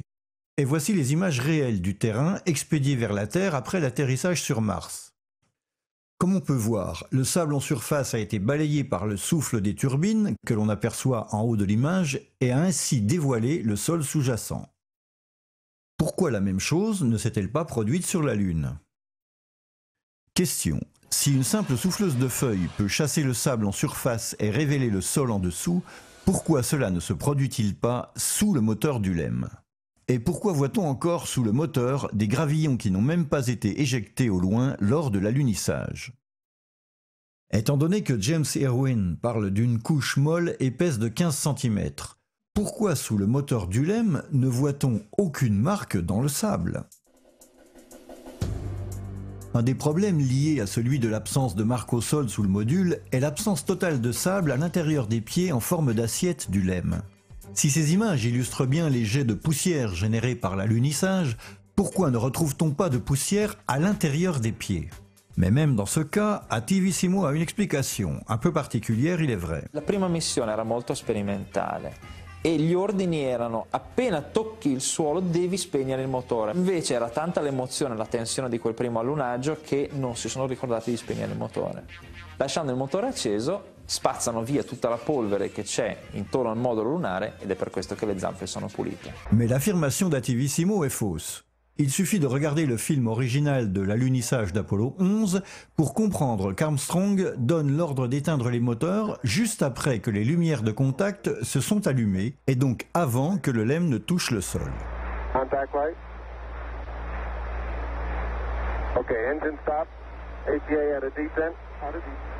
Dans cette déclaration aussi, faite après la mission, Armstrong confirme que le moteur a été éteint un peu avant que le LEM ne touche le sol. In any case, the engine shutdown was not very high above the surface. It was quite close. En outre, le problème de l'absence de poussière dans les pieds se vérifie aussi pour d'autres missions, comme par exemple pour Apollo 12 ou Apollo 14, et donc l'explication d'Attivissimo n'est pas valide dans tous les cas. Il faudrait d'ailleurs que les débunkers se décident. On ne peut pas soutenir à la fois que le souffle du moteur était tellement faible qu'il n'était même pas capable de laisser une trace dans le sable, mais qu'il était suffisamment puissant pour éjecter au loin la poussière présente dans les pieds du LEM durant l'alunissage. L'une de ces deux affirmations doit nécessairement être fausse. Nous posons donc la question suivante. Si ceci est bien la quantité de poussière soulevée par les moteurs du LEM pendant l'alunissage, pourquoi, dans les pieds du LEM, ne trouve-t-on pas la moindre trace de la poussière soulevée?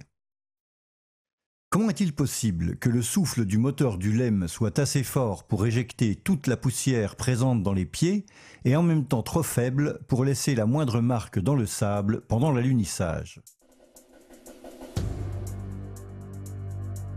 Venons-en maintenant à l'un des problèmes les plus importants concernant le LEM l'absence de flammes visibles sous son moteur pendant la phase de décollage. Le module lunaire est constitué de deux blocs séparés, un bloc inférieur et un bloc supérieur, chacun disposant d'un moteur indépendant. Le premier, le bloc inférieur, servait à faire atterrir le vaisseau complet sur la Lune, tandis que le second servait à faire décoller la partie supérieure du module, celle contenant les astronautes. Les deux moteurs fonctionnaient avec un carburant spécial appelé hypergolique. Il s'agit d'un carburant qui brûle simplement en mettant en contact deux composants chimiques particuliers et qui n'a pas besoin de système de mise à feu proprement dit. Les débunkers soutiennent que l'absence de flamme visible est due justement à ce carburant hypergolique. Sur son site Bad Astronomy, le débunker Phil Plate écrit Il y a une explication toute simple au fait qu'on ne voit pas de flamme sous le vaisseau quand il repart. Les carburants utilisés ne produisent aucune flamme visible. Attivissimo, lui aussi, écrit dans son livre Le produit de la combustion de ces substances est incolore et transparent. C'est pour ça qu'il n'y a pas de flamme sous le lemme au décollage. Mais cette affirmation est fausse. Les carburants hypergoliques produisent une flamme bien visible, que ce soit sur Terre ou dans l'espace. Voici un test du moteur de la navette spatiale SpaceX, qui utilise du carburant hypergolique. Comme on le voit, la flamme est bien visible pendant la combustion. Et ceci est un test du moteur de décollage du LEM, précisément celui dont nous parlions. To keep it simple, it used so-called hypergolic propellants, a rocket fuel and an oxidizer that explode on contact. Comme vous le voyez, la longue flamme du carburant hypergolique est clairement visible sous le moteur du LEM pendant la combustion. Sur les images originales de la mission Apollo, pourtant, on ne voit aucun jet. Voici les images retransmises vers la Terre du redécollage d'Apollo 15, celle d'Apollo 16 et celle d'Apollo 17. Dans aucun des trois cas, on ne voit le jet de gaz du moteur qui devrait pourtant être présent sous le moteur du module. On pourrait croire que le carburant hypergolique, dont la combustion est bien visible sur Terre, pour une raison inconnue, deviendrait invisible dans le vide de l'espace. Mais ce n'est pas le cas, comme le montrent ces différents exemples. Ceci est un test du moteur Draco utilisant du carburant hypergolique enfermé dans une chambre à vide. Comme on peut le voir, le jet émis est quand même bien visible. Le shuttle aussi utilise du carburant hypergolique pour ses moteurs de positionnement. Et le shuttle montre clairement le jet de ses moteurs d'orientation lors de ses manœuvres dans le vide spatial. Voici une autre image du shuttle qui manœuvre dans le vide en utilisant ses moteurs de positionnement. Le jet de la combustion hypergolique est clairement visible. Voici par ailleurs le vaisseau Soyuz, filmé alors qu'il s'approche de la Station spatiale internationale. Lui aussi utilise du carburant hypergolique pour ses moteurs directionnels et dans ce cas aussi, on peut clairement voir les jets, même si cela se déroule dans le vide. Ils sont même encore plus visibles à cause du contraste avec le fond noir du vide sidéral. Tous ces exemples montrent bien que la combustion du carburant hypergolique est tout à fait visible, même dans l'espace. Par conséquent, nous posons la question suivante. Étant donné que ceci est le moteur du LEM lors de tests faits sur Terre, comment se fait-il qu'il n'y ait aucune flamme, aucun jet visible quand il repart de la Lune? Non seulement le moteur du LEM ne laisse voir aucune flamme lors du décollage, mais il semble en plus ne produire aucun son particulier. Voici le bruit produit par le moteur du LEM lors de tests faits sur la Terre. Pourtant, pendant les phases de départ, depuis la surface de la Lune, on n'entend aucun bruit particulier.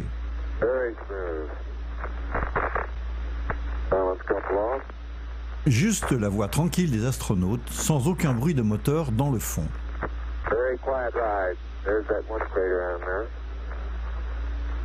Certains des bunkers expliquent que dans l'espace, le son ne se propage pas et va se perdre à l'extérieur. C'est pourquoi l'on n'entend rien à l'intérieur de la cabine.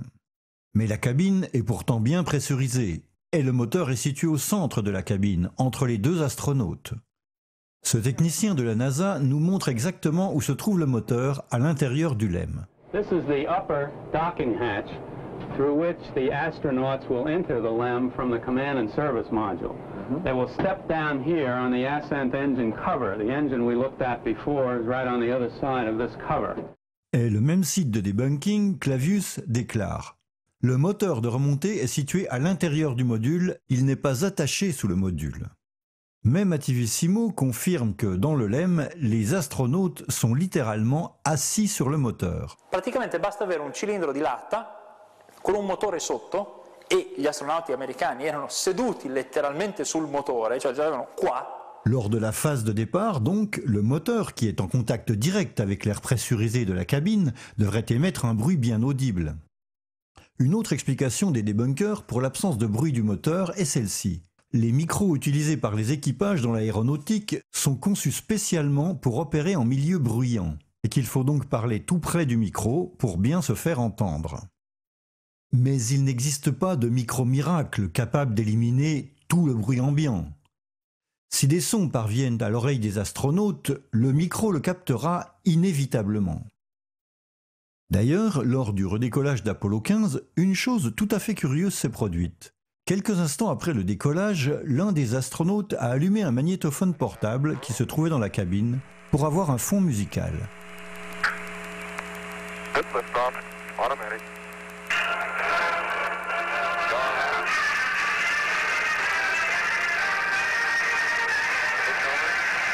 Comme on peut l'entendre, la musique provenant du magnétophone est parfaitement audible, tandis que le moteur, qui à cet instant est à son maximum de poussée, n'émet aucun son.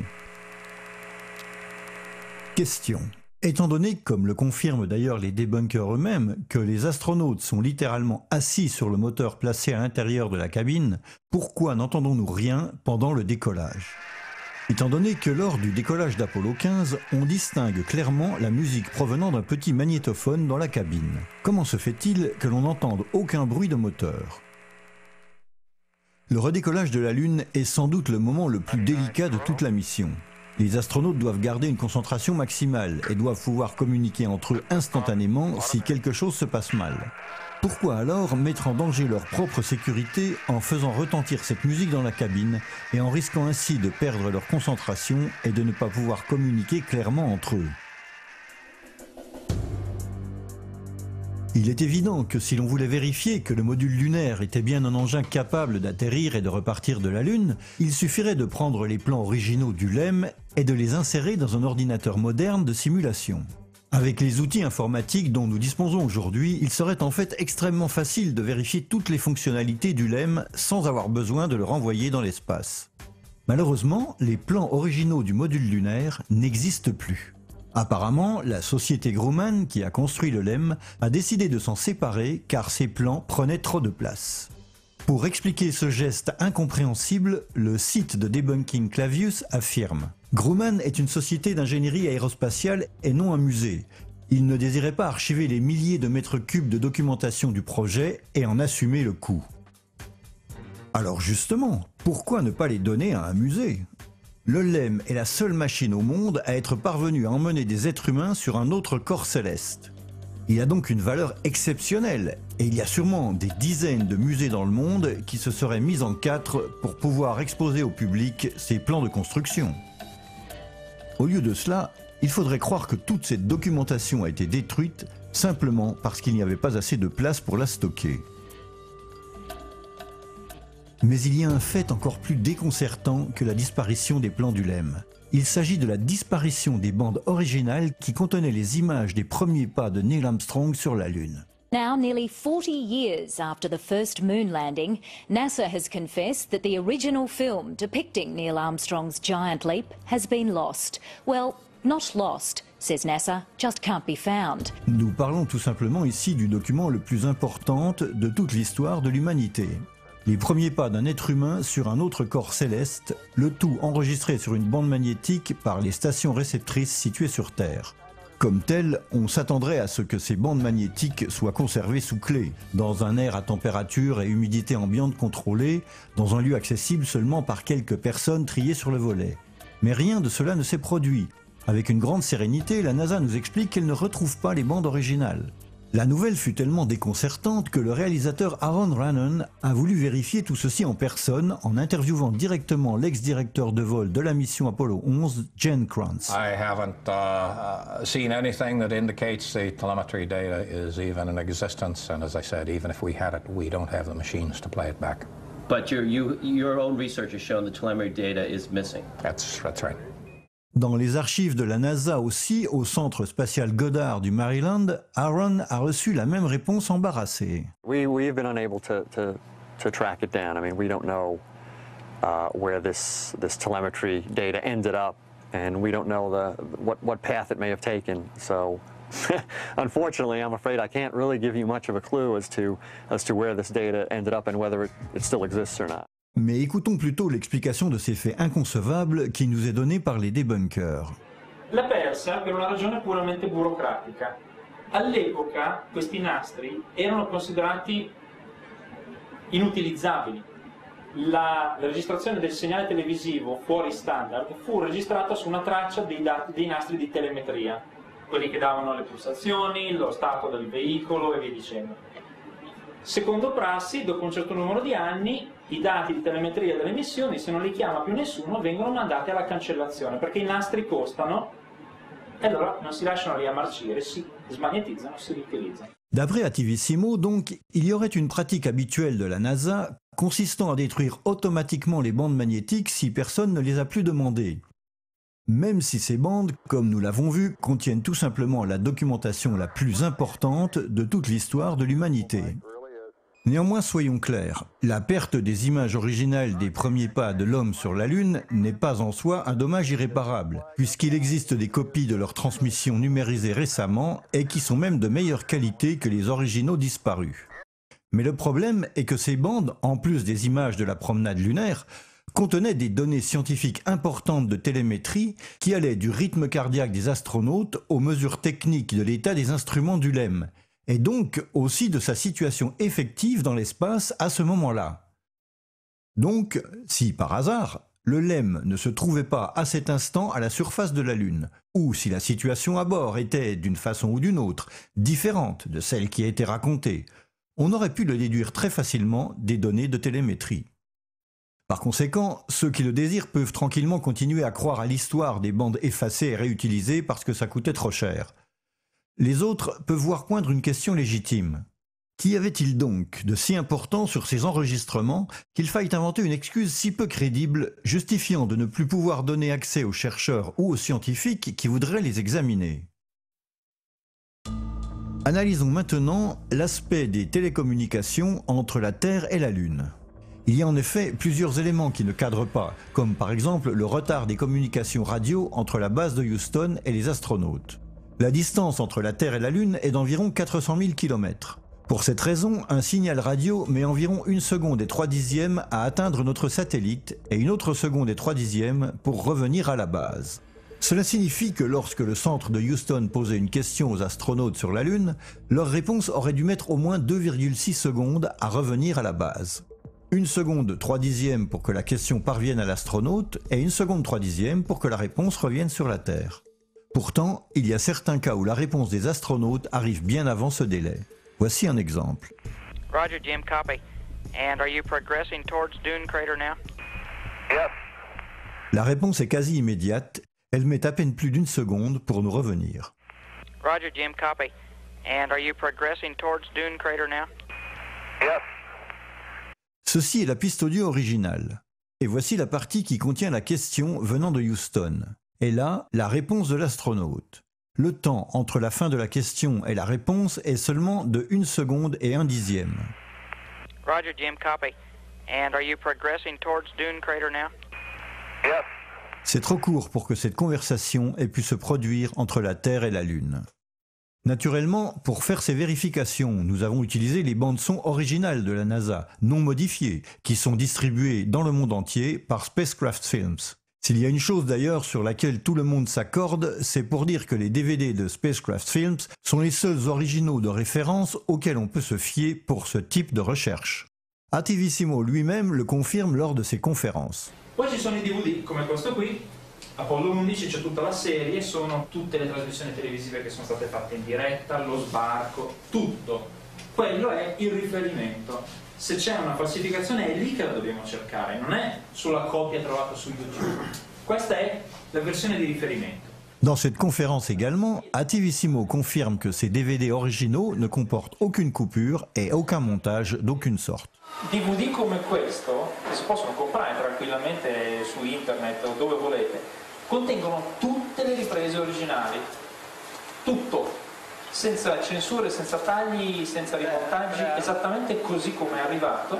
Ce fait est confirmé par Clavius, le site de debunking qui fait autorité sur les questions lunaires. Les DVD de Spacecraft Films, écrit Clavius, contiennent les numérisations des vidéos et les films originaux du programme Apollo, non modifiés.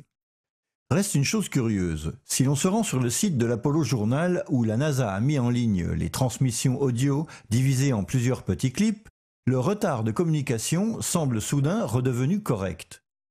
Ceci est la piste audio de la même scène prise sur le site de l'Apollo Journal. La question qui arrive de Houston reste inchangée, mais la réponse semble avoir été placée environ 4 secondes plus tard. Roger, Jim, copy. And are you progressing towards Dune Crater now? Yes. C'est comme si, en chargeant le clip sur le site, quelqu'un s'était aperçu que la réponse était trop proche et avait inséré une pause pour mettre un délai plus juste. Mais sur la bande audio originale de Spacecraft Films, ce délai n'existe pas. Cette conversation ne peut pas avoir eu lieu entre la Terre et la Lune. Il existe un autre cas où la réponse de l'astronaute arrive beaucoup trop vite.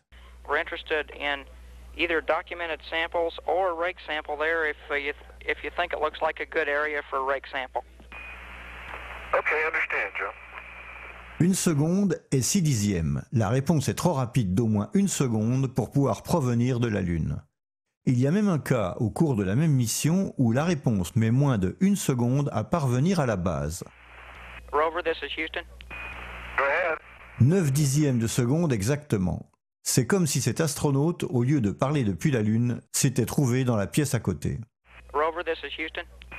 Go ahead. Question. Étant donné que nous avons examiné les vidéos originales de Spacecraft Films et que les débunkers confirment qu'elles n'ont pas été modifiées, pouvez-vous expliquer pourquoi, à plusieurs reprises, le retard entre la question et la réponse est nettement inférieur à ce qu'il devrait être si la conversation avait réellement eu lieu entre la Terre et la Lune? Venons-en maintenant à un autre aspect des communications qui pose de sérieuses questions de crédibilité, les transmissions en direct à la télévision.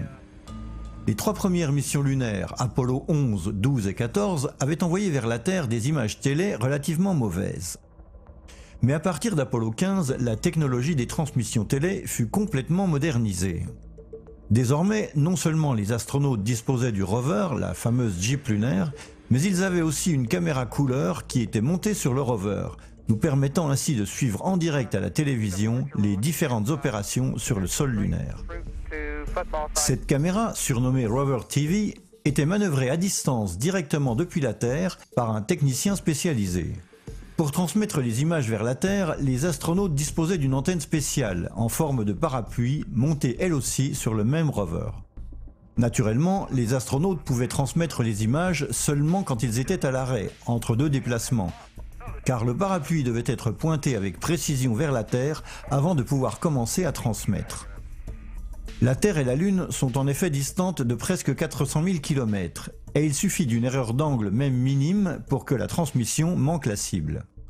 Sur le site de la NASA, on peut lire L'antenne à haut gain émet dans un rayon assez fin qui permet à la parabole de 85 mètres située sur Terre de recevoir le signal adéquat. L'antenne avait un gain nominal de 24 décibels au centre qui se réduisait à 20,5 décibels sur un cône de 10 degrés d'angle. Autrement dit, en augmentant l'angle de transmission, on réduisait rapidement le signal. Pointer avec précision l'antenne n'était pas facile, écrit la NASA, et il fallait d'abord effectuer une délicate opération manuelle d'alignement de l'axe de l'antenne émettrice. Après quoi, les astronautes procédaient à l'opération précise de visée à l'aide d'un œillet optique monté directement sur l'antenne. Comme on peut le lire dans le manuel d'entraînement de la NASA, l'opération de visée de l'antenne requiert un instrument optique puisque la Terre est large d'environ 2 degrés lorsqu'elle est regardée depuis la Lune. Ceci est l'œillet de visée de cet instrument optique. Chaque carré correspond à un angle d'environ 3 degrés. L'alignement de l'antenne, explique le manuel, doit rester dans les 2 degrés et demi par rapport à la Terre. Cela se produit lorsque l'image de la Terre se trouve au centre de la cible. Le signal vidéo se dégrade de manière extrêmement rapide au-delà de ce point à cause du cône d'émission très fin de l'antenne. Autrement dit, il suffit d'une erreur d'alignement de 2 degrés dans n'importe quelle direction pour que la Terre soit totalement en dehors de la cible. Rappelons que la caméra et l'antenne sont toutes deux montées sur le rover, et que par conséquent, une petite ondulation de la première équivaut à une même ondulation pour la seconde. C'est un problème bien connu pour qui s'occupe de transmission par satellite vers la Terre. Les unités mobiles disposent en effet d'un système de pieds amovibles qui sont utilisés une fois l'engin transmetteur correctement positionné de façon à éviter toute oscillation. Et sur la Terre, la marge d'erreur est bien plus grande que pour une transmission depuis la Lune, car nous parlons d'une distance des satellites géostationnaires bien inférieure à celle entre la Terre et la Lune. Il est évident que pour maintenir la connexion avec la Terre, le rover devait rester pratiquement immobile pendant toute la durée de la transmission. Or, nous avons plusieurs situations où les astronautes font bouger ostensiblement le rover et donc aussi l'antenne sans pour autant que le signal ait été interrompu. En général, cela advient quand l'un des astronautes s'approche du rover pour y prendre ou y déposer des instruments. Pour évaluer l'ampleur des ondulations, il suffit de regarder comment la ligne d'horizon bouge tout au fond.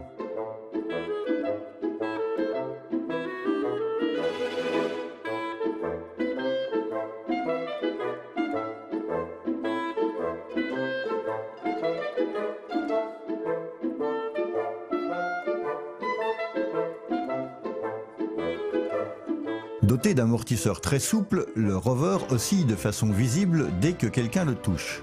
Mais comme nous l'avons dit, le signal télé ne décroche jamais.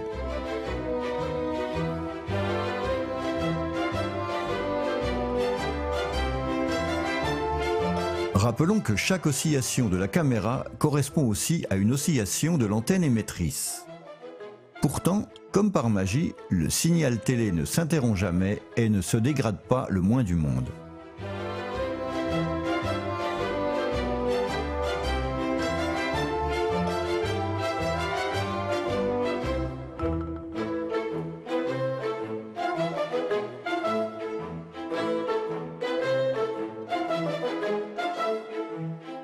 Travers l'œillet de visée optique de l'antenne, les oscillations du parapluie doivent avoir ressemblé à cela.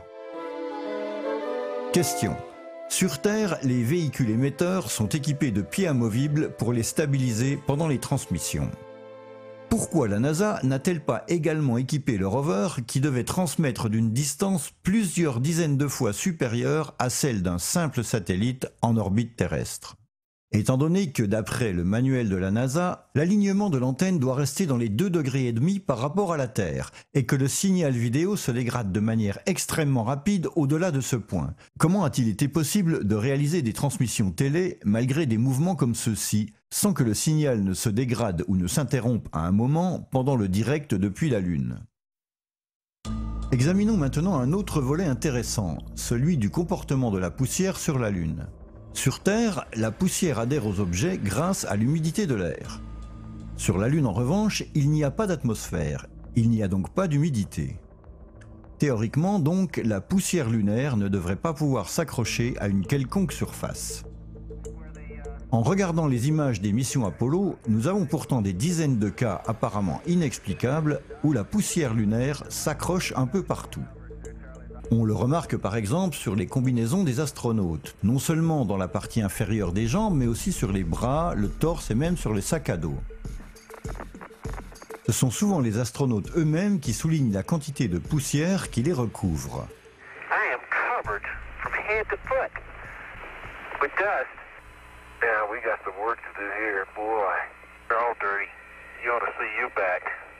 I couldn't have gotten any dirtier than you. Même au centre de Houston, ils commentent le problème. Bin. La poussière s'attache également de façon inexplicable sur les appareils photo et sur leurs objectifs. Les astronautes eux-mêmes s'en plaignent souvent. Le problème devient parfois si grave qu'ils n'arrivent plus à lire les informations sur les objectifs. Le même problème se présente pour les caméras utilisées par les astronautes. On note dans ce cas que de nombreux grains de poussière se sont collés à l'objectif de la caméra. Et ici, c'est même tout l'objectif qui se trouve couvert de poussière. Les taches blanches sont les seules zones de l'objectif où la poussière n'est pas présente. Parfois, les astronautes eux-mêmes s'en aperçoivent. D'autres fois, la demande de nettoyer l'objectif émane directement du centre de contrôle. Uh.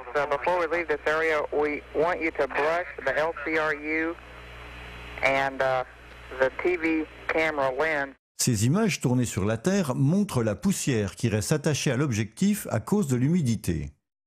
Pourquoi ce même phénomène se produit-il aussi sur les objectifs utilisés par les astronautes puisqu'il n'existe pas d'humidité sur la Lune?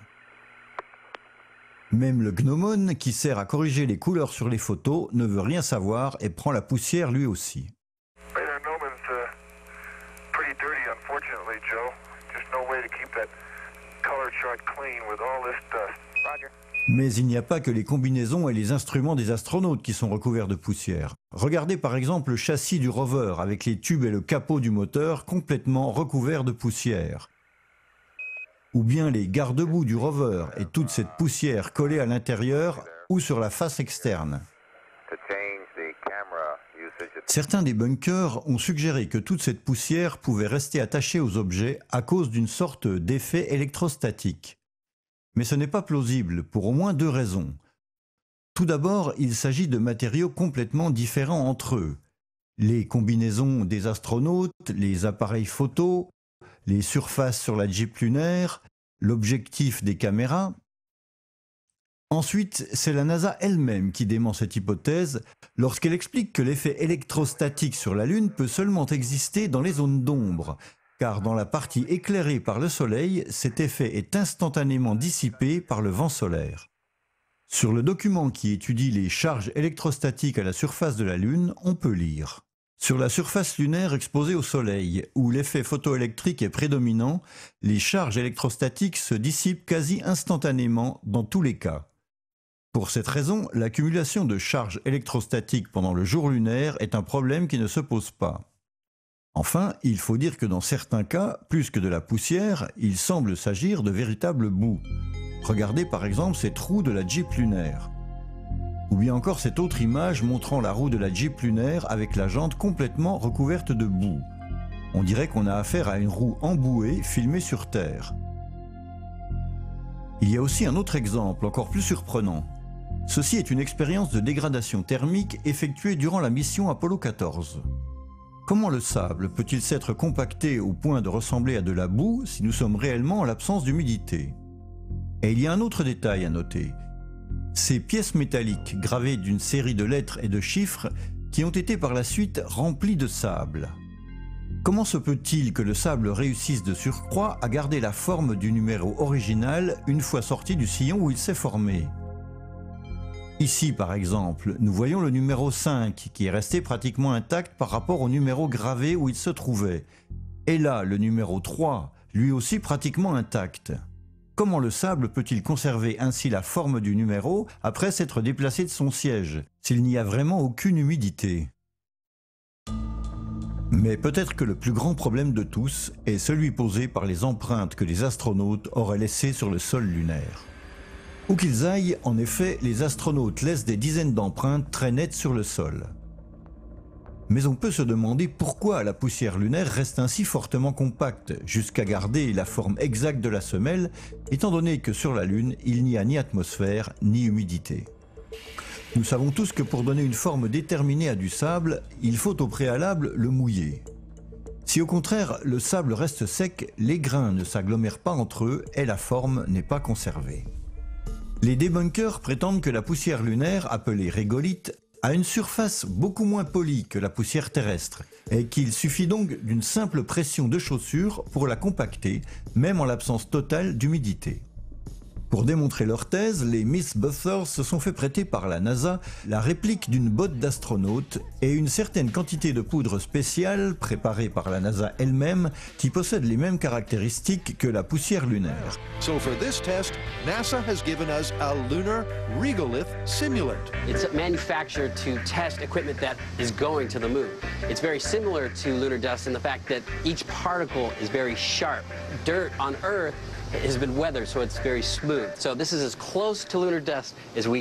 c'est une poudre que Paolo Attivissimo connaît bien lui aussi. Eh, questo è un campione, è un simulante, si chiama, un simulante di regolite, che è la polvere di luna sintetica che si usa per collaudare i veicoli che poi torneranno sulla Luna. Les Mythbusters ont alors mené une expérience dans une chambre à vide, c'est-à-dire en l'absence complète d'humidité, répliquant ainsi les conditions que l'on trouve à la surface de la Lune. The rig is ready to take its one-legged step, and the vacuum chamber has been uh, vacuumed. Boot stop, vacuum. Here we go.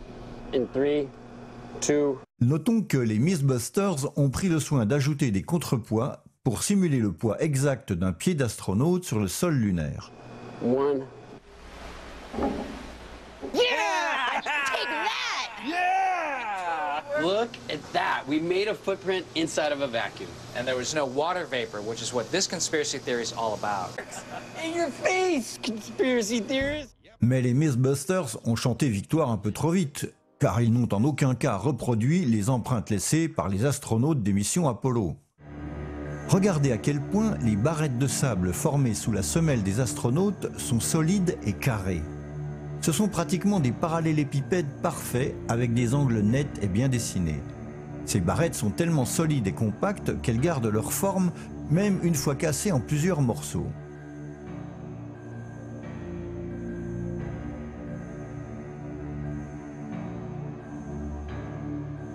On dirait presque de l'argile qui aurait séché au soleil.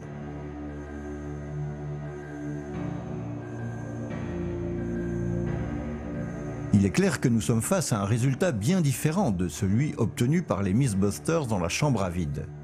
Si l'on essayait de casser en deux ou simplement de déplacer une de ces barrettes de sable, il est certain qu'elle ne resterait pas compacte et unie. Les Mythbusters, avec leur expérience, ont réussi à nous démontrer l'exact contraire de ce qu'ils voulaient. C'est-à-dire qu'en l'absence d'humidité, il est impossible de reproduire les empreintes laissées par les astronautes. Question.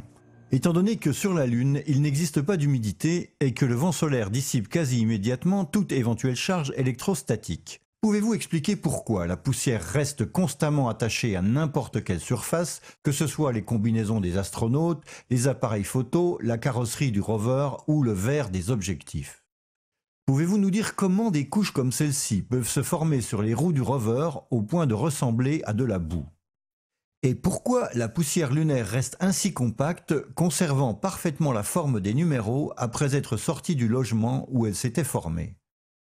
Étant donné que les Mythbusters ont reproduit les conditions lunaires avec un équivalent de régolithe dans une chambre à vide, pourquoi n'ont-ils pas réussi à répliquer les mêmes empreintes que celles laissées par les astronautes visibles sur les photos originales?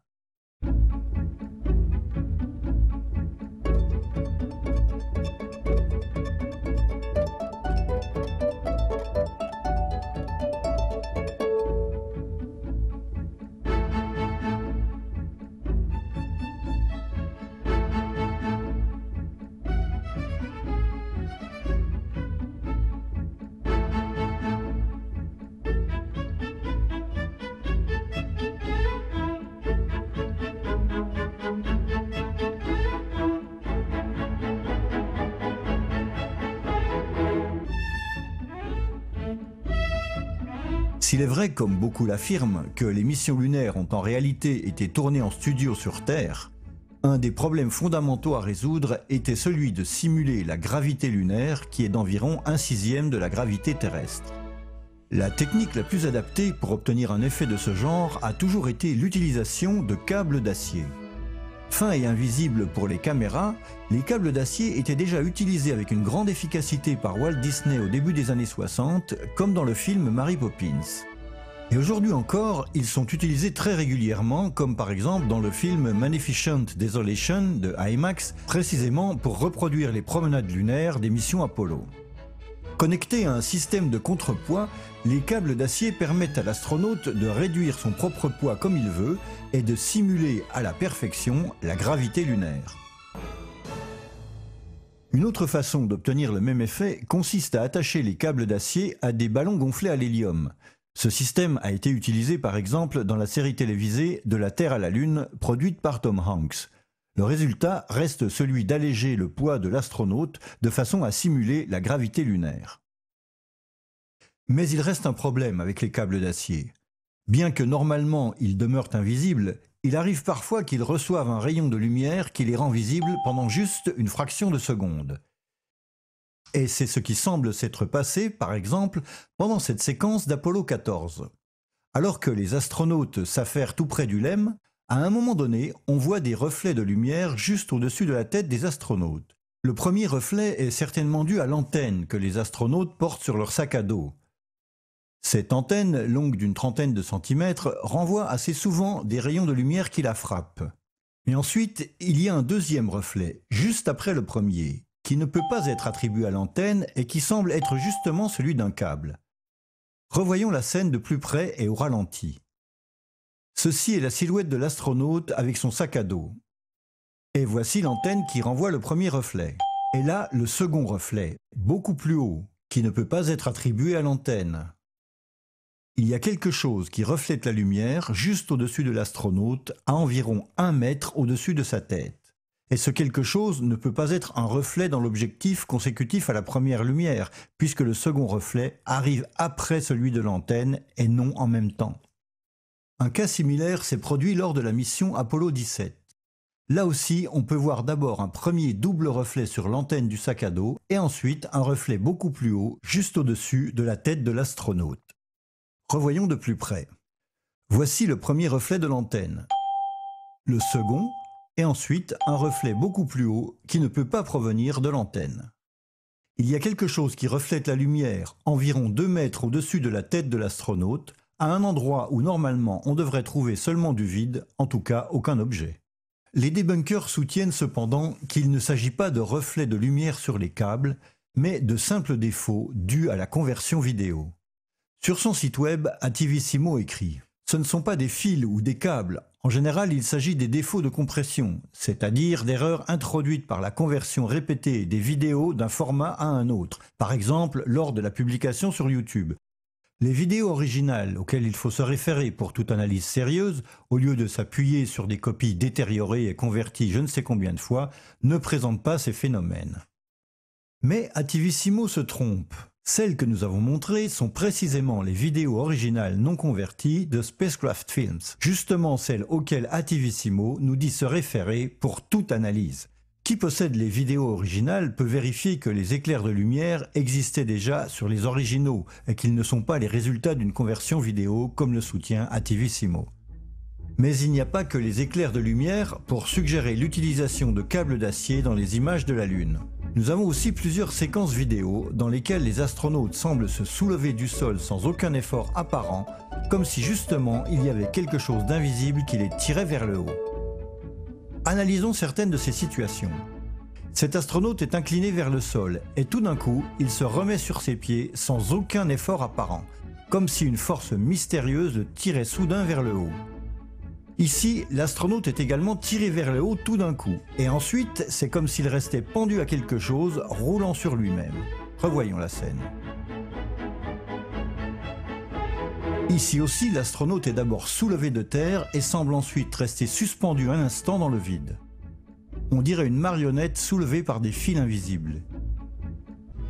Et ici, l'astronaute tombé à terre se soulève du sol comme si une force invisible tirait par le sac à dos. Revoyons la scène de plus près.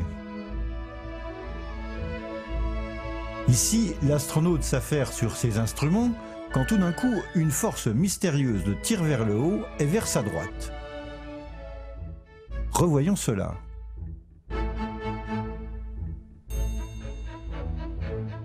Il y a même une situation où l'astronaute se plaint de ne pas pouvoir se remettre debout et semble presque attendre que quelqu'un le soulève. L'astronaute attend jusqu'à ce qu'une force mystérieuse le tire vers le haut. Dans cet autre cas, l'astronaute tombe en avant mais reste étrangement suspendu en l'air. En y regardant de plus près, il semble même qu'il reste tout d'abord suspendu au-dessus du sol et qu'ensuite une force mystérieuse le tire vers le haut. Et là, nous avons un cas apparent de lévitation. L'astronaute de gauche fait un bond en avant et semble ensuite suspendu dans le vide, avec les jambes qui pendent, tandis qu'une force inconnue le soulève vers le haut. Revoyons la scène de plus près et au ralenti.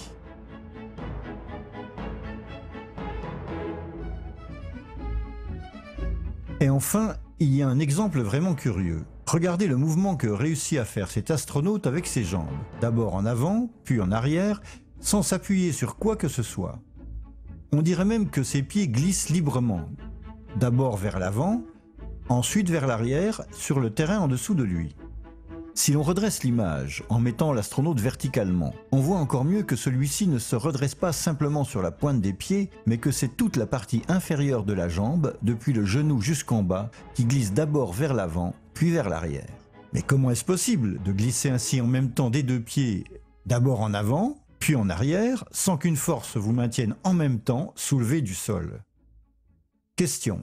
Étant donné qu'il ne s'agit ni d'effet de conversion vidéo, ni de reflet dans l'objectif, comment expliquez-vous les éclairs de lumière que l'on peut voir de temps en temps au-dessus de la tête des astronautes? Pouvez-vous expliquer comment un mouvement comme celui-ci, ou celui-ci, ou encore celui-ci est possible sans qu'une force externe ne tire l'astronaute vers le haut? Le dernier ensemble de preuves est consacré à l'apparente présence d'air suggérée par les images de la Lune. Comme nous le savons, il n'y a pas d'atmosphère sur la Lune. En théorie, les astronautes devraient donc se déplacer dans le vide le plus absolu. On peut pourtant relever certains détails dans les vidéos des missions Apollo qui suggèrent que nous nous trouvons en présence d'air. L'un de ces détails est le comportement des nuages de poussière soulevés par le rover, la Jeep lunaire. Si nous étions en l'absence totale d'air, tout le sable soulevé par les roues devrait exécuter une trajectoire parabolique parfaite entre le moment où celui-ci se détache de la roue et celui où il retombe sur le sol. Puisqu'il n'y a pas d'air pour freiner leur course, les particules les plus lourdes comme les plus légères devraient toutes suivre le même arc parabolique. A l'inverse, sur Terre, les particules les plus légères de sable sont freinées par l'air qu'elles traversent et restent en suspension plus longtemps, formant les classiques nuages de poussière que l'on peut voir derrière les roues. C'est un phénomène que nous retrouvons dans mille situations différentes, en soulevant simplement un peu de sable du sol, pendant une partie de golf ou lors d'une course de motocross. Mais c'est un phénomène que l'on retrouve aussi, et de façon bien étrange, derrière les roues de la Jeep lunaire où il ne devrait pas se produire. Regardez par exemple ce nuage de poussière qui reste en l'air après le passage du rover. Comme nous l'avons dit, en l'absence d'atmosphère, de tels nuages ne devraient pas se former. Tout le sable, du plus léger au plus lourd, devrait suivre la même trajectoire parabolique. Et de fait, sur le site de Debunking Clavius, on peut lire si l'atmosphère est suffisamment dense, elle peut retenir en suspension de petites particules, s'opposant à la gravité pendant un bref laps de temps. Mais rien de cela ne peut survenir sur la Lune, car il n'y a rien qui puisse maintenir en suspension les particules de poussière. Au lieu de cela, ce genre de nuage de poussière se forme régulièrement derrière les roues de la Jeep et reste en suspension plusieurs secondes avant de retomber. Tout cela ne devrait pas se produire comme nous l'avons vu si nous nous trouvions véritablement sur la Lune, c'est-à-dire en l'absence d'atmosphère. Voici une autre situation dans laquelle nous vient le soupçon que nous sommes en présence d'air. Ce que l'on voit sur la droite est une couverture thermique montée sur la partie antérieure du rover. C'est une couverture que nous voyons souvent onduler pendant le déplacement du rover d'un endroit à l'autre. Quand le rover est arrêté, cependant, cette couverture ne devrait pas onduler, étant donné que sur la Lune, il n'y a pas d'air pour la faire bouger. Il y a pourtant un cas où cette couverture thermique semble bouger toute seule. Au début, on ne sait pas si c'est l'astronaute qui la touche. Mais ensuite, alors que l'astronaute balaie la poussière, la couverture thermique se gonfle et se soulève toute seule, et ce à plusieurs reprises, comme si un léger courant d'air la faisait se soulever. Il y a un autre cas étrange, toujours dans la mission Apollo 16. Quand un des astronautes referme ce capot sur le rover, on note un jet de poussière qui est propulsé vers le haut. Revoyons-le de plus près au ralenti.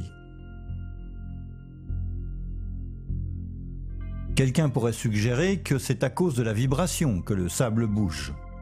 Mais en réalité, tout le rover est recouvert de sable, et s'il s'agissait d'une vibration, tout le sable bougerait en même temps.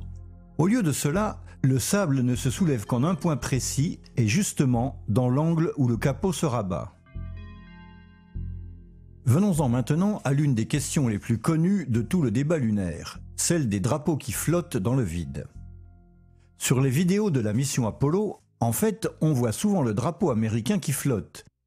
Mais il est extrêmement difficile de savoir s'il le fait parce qu'il a pris un courant d'air ou seulement parce qu'un des astronautes a touché son manche. De fait, les Mythbusters ont fait une expérience dans une chambre à vide pour démontrer qu'en l'absence totale d'air aussi, un drapeau peut parfaitement continuer d'osciller pendant quelques instants. This is flag waving test in vacuum. And stop. Oh, it's definitely. hey, It's moving a lot. So in the vacuum, the flag moved, you know, not just a little bit. It actually moved quite a bit. So that proves you don't need wind in order to move the flag in a vacuum. Mais ce sont ensuite les Mythbusters eux-mêmes qui ouvrent le débat en lançant ce challenge. So unless someone finds a shot of the flag flapping without an astronaut manipulating the flagpole, À moins que quelqu'un ne décèle un drapeau qui ondule sans que l'astronaute ne touche son axe, ont-ils dit. Eh bien, des situations où le drapeau ondule sans que personne ne l'ait touché, nous en avons trouvé au moins trois. La première est extraite d'une séquence TV sur Apollo 15. Ici, un astronaute se fait prendre en photo par son collègue à côté du drapeau américain. Voici une image de la scène. Et ceci est la caméra montée sur le rover qui filme la scène en direct. Ensuite, l'astronaute sort du champ sur la gauche. Après quelques secondes, un des deux astronautes repasse devant la caméra en se dirigeant vers le LEM. Mais après son passage, on voit osciller le drapeau sans que personne ne l'ait touché. Revoyons ça.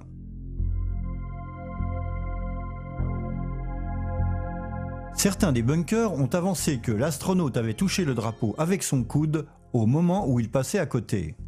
Mais il suffit de faire un petit exercice de triangulation tout simple avec la photo pour voir que cela n'est pas possible.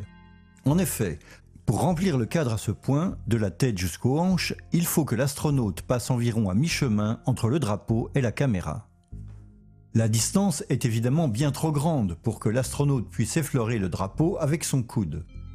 D'autres des bunkers, comme Ativissimo, acceptent le fait que l'astronaute n'a pas touché le drapeau, mais suggèrent que c'est une sorte de charge électrostatique qui le fait osciller.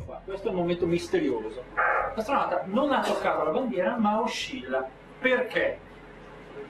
La teoria che, si, che circola fra gli addetti ai lavori è che si ha un effetto elettrostatico, come quello che si ottiene quando si sfrega un, eh, un maglione con una bacchetta di plastico, di vetro.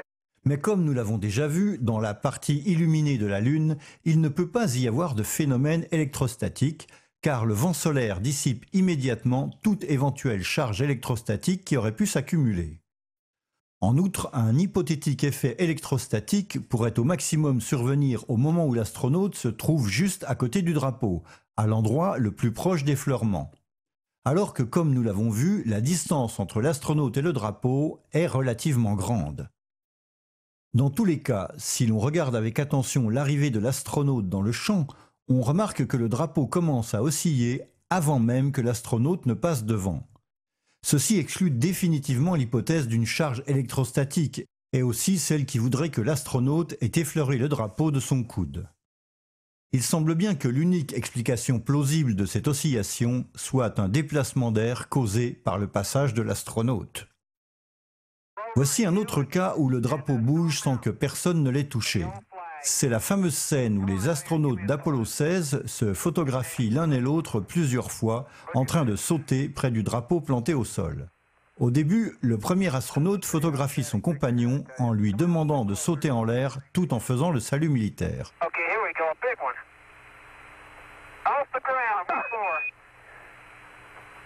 There we go. Ensuite, quand ils échangent les rôles, on voit le drapeau bouger légèrement sans que personne ne l'ait touché.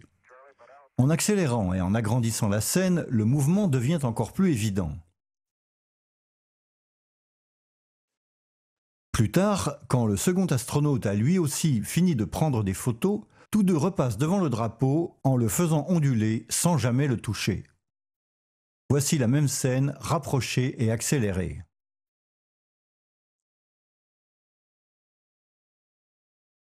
Il y a ensuite un cas extrêmement intéressant où le drapeau bouge tout seul, et ce, à plusieurs reprises, alors que les astronautes se trouvent déjà à bord du LEM. Il s'agit de la mission Apollo 14 à la fin de la deuxième promenade lunaire. Les deux astronautes sont en train de se préparer pour entrer dans le LEM quand l'un d'eux se prend les pieds dans le câble de la caméra et la fait tomber à terre. Après quelques secondes, l'astronaute s'approche de la caméra et la remet en position, tandis que son collègue commence à remonter l'échelle du LEM. Après quoi, le premier astronaute se dirige lui aussi vers le LEM pour y remonter. À partir de cet instant-là, personne ne touchera plus à la caméra. Le premier astronaute termine quelques opérations de chargement avec une poulie spéciale, avant de gravir lui aussi l'échelle du LEM. Pendant qu'ils entament les opérations pour refermer le LEM et repartir, la caméra continue de filmer la scène vide. 15 minutes passent au cours desquelles rien ne se produit. Puis, à un moment donné, sans que personne n'ait pu le toucher, on voit le drapeau qui oscille et entre partiellement dans le champ de la caméra sur le côté droit. Après environ 15 secondes, le drapeau bouge dans le sens inverse et revient à sa position originale. Mais après 20 secondes, à nouveau, le drapeau entre dans le champ, comme s'il y avait un léger courant d'air qui le faisait se déplacer. Le drapeau reste visible pendant environ une demi-minute et disparaît à nouveau. Passe encore deux minutes avant que le phénomène ne se produise une troisième fois. Le drapeau entre dans le champ de la caméra et disparaît, puis il revient dans le champ en oscillant avant de disparaître définitivement de notre vue. Comme nous l'avons dit, les astronautes sont déjà remontés à bord du LEM et il n'y a plus personne qui puisse toucher le drapeau. En outre, si l'on prend comme point de référence cet objet clair, nous voyons que le cadre ne se déplace pas de droite à gauche, mais reste toujours fixe. Ce n'est donc pas la caméra qui s'est déplacée, c'est vraiment le drapeau qui oscille, entrant et sortant tout seul du champ de la caméra. Certains débunkers ont suggéré que les oscillations du drapeau étaient dues aux émissions de gaz provenant du module lunaire durant la phase de dépressurisation. Mais cette explication ne tient pas, et ce pour au moins deux raisons. Tout d'abord, le gaz, une fois expulsé, se perdrait immédiatement dans le vide et ne serait pas en mesure de créer la turbulence nécessaire pour faire bouger le drapeau. Ensuite, comme nous l'avons vu, le drapeau entre toujours dans le cadre en se déplaçant de droite à gauche, c'est-à-dire qu'il va vers le LEM avant de s'en éloigner par la suite. Et donc en aucun cas, des gaz émis par le LEM ne pourraient attirer le drapeau en direction du module lunaire. Question. Étant donné que sur la Lune, il n'y a pas d'atmosphère, Pouvez-vous nous expliquer ce qui peut freiner et maintenir en l'air des particules de sable les plus légères en formant ces petits nuages de poussière qui ensuite retombent au sol? Puisque le drapeau commence à bouger avant même que l'astronaute ne passe devant, ce qui exclut la possibilité d'un effet électrostatique aussi bien que celle d'un contact physique, pouvez-vous suggérer quelque chose de différent d'un déplacement d'air pour expliquer l'oscillation du drapeau? Étant donné que le drapeau bouge par deux fois sans jamais être touché par personne, Pouvez-vous nous dire ce qui cause l'oscillation du drapeau? Étant donné que les astronautes se trouvent dans le LEM depuis au moins 15 minutes et que personne d'autre ne peut avoir touché le drapeau, pouvez-vous nous suggérer quelque chose d'autre qu'un déplacement d'air pour expliquer les différentes oscillations de ce drapeau? Venons-en maintenant à l'un des aspects les plus connus et débattus de toute la question lunaire, les photos des missions Apollo. Pour les analyser en détail, nous nous sommes appuyés sur l'expérience de plusieurs photographes de renommée mondiale qui ont travaillé pour les revues les plus prestigieuses du monde. Ce sont tous des photographes qui exerçaient déjà leur profession dans les années 70 et qui utilisaient quotidiennement les mêmes appareils photo et les mêmes pellicules que ceux utilisés par la NASA pour les missions Apollo. Nous vous les présentons brièvement. Tony Thorimbert, reporter, portraitiste, photographe de mode bien connu. À partir des années 70, il a travaillé pour les revues les plus prestigieuses en Italie et dans le monde. Thorimbert a aussi signé plusieurs livres de photos et a fondé une photo factory où il tient régulièrement des séminaires sur les techniques photographiques. Ses œuvres ont été montrées dans plusieurs expositions photos dans le monde, parmi lesquelles la Biennale de Venise et la Triennale de Milan. Aldo Falai, photographe de mode connu avec plus de 40 ans de carrière internationale. À partir des années 80, il fut le photographe officiel de Giorgio Armani. Avec son style sobre et raffiné, Falai a contribué à définir l'image de la mode qui a caractérisé pendant plusieurs décennies la ligne Armani dans le monde entier. Falai a publié plusieurs livres de photos et ses clichés ont fait l'objet de nombreuses expositions qui lui ont été consacrées. Oliviero Toscani, photographe de mode connu dans le monde entier. À partir des années 70, il a littéralement révolutionné l'image de la mode avec son style anticonformiste. En plus d'avoir travaillé toute sa vie pour les plus grandes revues du monde, Toscani a signé quelques-unes des campagnes publicitaires les plus débattues et révolutionnaires de leur époque, comme celles de Benetton, de Fiorucci et de Jesus Jean. Peter Lindbergh, au sommet depuis plus de 40 ans, Lindbergh a commencé à être connu dans les années 80 pour avoir découvert et lancé sur la scène mondiale celle que l'on a appelée les supermodèles, l'équipe composée de Cindy Crawford, Linda Evangelista, Naomi Campbell, Tatiana Pattis, Kate Moss, Christy Turlington, qui ont dominé la scène de la mode internationale dans la dernière décennie du XXe siècle. Lindbergh est le seul parmi les professionnels de la photo à avoir été appelé pas moins de trois fois pour réaliser le prestigieux calendrier Pirelli en 1996, en 2002 et en 2017. Photographe préféré de nombreuses stars du cinéma, de Charlotte Rampling à Penelope Cruz, de Uma Thurman à Nicole Kidman, Lindbergh est aujourd'hui considéré tout simplement comme l'un des plus grands photographes au monde encore vivant. L'auteur de ce film, Massimo Mazzucco, a également travaillé plus de 20 ans comme photographe de mode, collaborant avec d'importantes revues en Italie, aux USA, en Allemagne ou encore en Australie. Mais avant d'affronter en détail les photos lunaires, il nous semble utile de nous débarrasser de certains faux arguments utilisés encore aujourd'hui pour essayer de prouver que l'homme n'a pas marché sur la Lune. L'une des erreurs les plus courantes parmi ceux qui contestent les photos lunaires est d'affirmer que les images des missions Apollo sont fausses parce que dans le ciel on ne voit pas d'étoiles. Il est au contraire tout à fait normal qu'on ne les voit pas, dans tous les cas, que les photos aient été prises sur la Lune ou qu'elles aient été réalisées sur Terre en studio. Les diaphragmes et les temps d'exposition avec lesquels les astronautes ont pris ces photos étaient écrits directement au dos de leur appareil photo. Un diaphragme entre 8 et 11 pour une illumination en plein soleil, temps d'exposition 1 250e de seconde. Tous ceux qui ont pris des photos de nuit avec les anciens appareils photo à pellicule savent bien qu'à 1 250e, il est impossible de capturer la lumière des étoiles. Si l'on veut voir les étoiles, il faut allonger le temps d'exposition d'au moins une seconde, voire deux ou même quatre secondes. Quando leggevo, dice ma non ci sono le stelle, dicevo ma questo non ha mai fatto le foto, le stelle non si vedrebbero mai, perché sono in confronto alla zona, questi fotografi sono molto meno, molto meno luminose, quindi il cielo risulterebbe sicuramente un nero profondo. Il est donc normal qu'on ne voit pas les étoiles sur les photos des missions Apollo, qu'elles aient été prises sur Terre ou bien sur la Lune. Un autre argument fallacieux, souvent utilisé pour dire que les photos sont des faux, est celui concernant ce qu'on appelle les fiducials, ces fines croix de référence qui apparaissent sur toutes les photos prises sur la Lune. Il existe des cas, soutiennent certains, où la croix semble disparaître derrière l'objet photographié. Puisque les croix sont gravées sur une vitre placée devant la pellicule, elles devraient toujours être visibles, et leur absence, d'après certains, serait une preuve de la manipulation des photos lunaires. En réalité, si l'on observe les originaux en haute définition de la NASA, on voit que les croix sont toujours là. Dans certains cas, leur contour est effacé par l'effet de contre-jour des objets plus clairs sur le fond, mais la croix ne disparaît jamais entièrement de l'image. Ni l'absence d'étoiles dans le ciel, ni l'apparente disparition des croix de référence ne peuvent être considérées comme des preuves de la falsification des photos lunaires. Venons-en maintenant au véritable problème posé par les photos lunaires.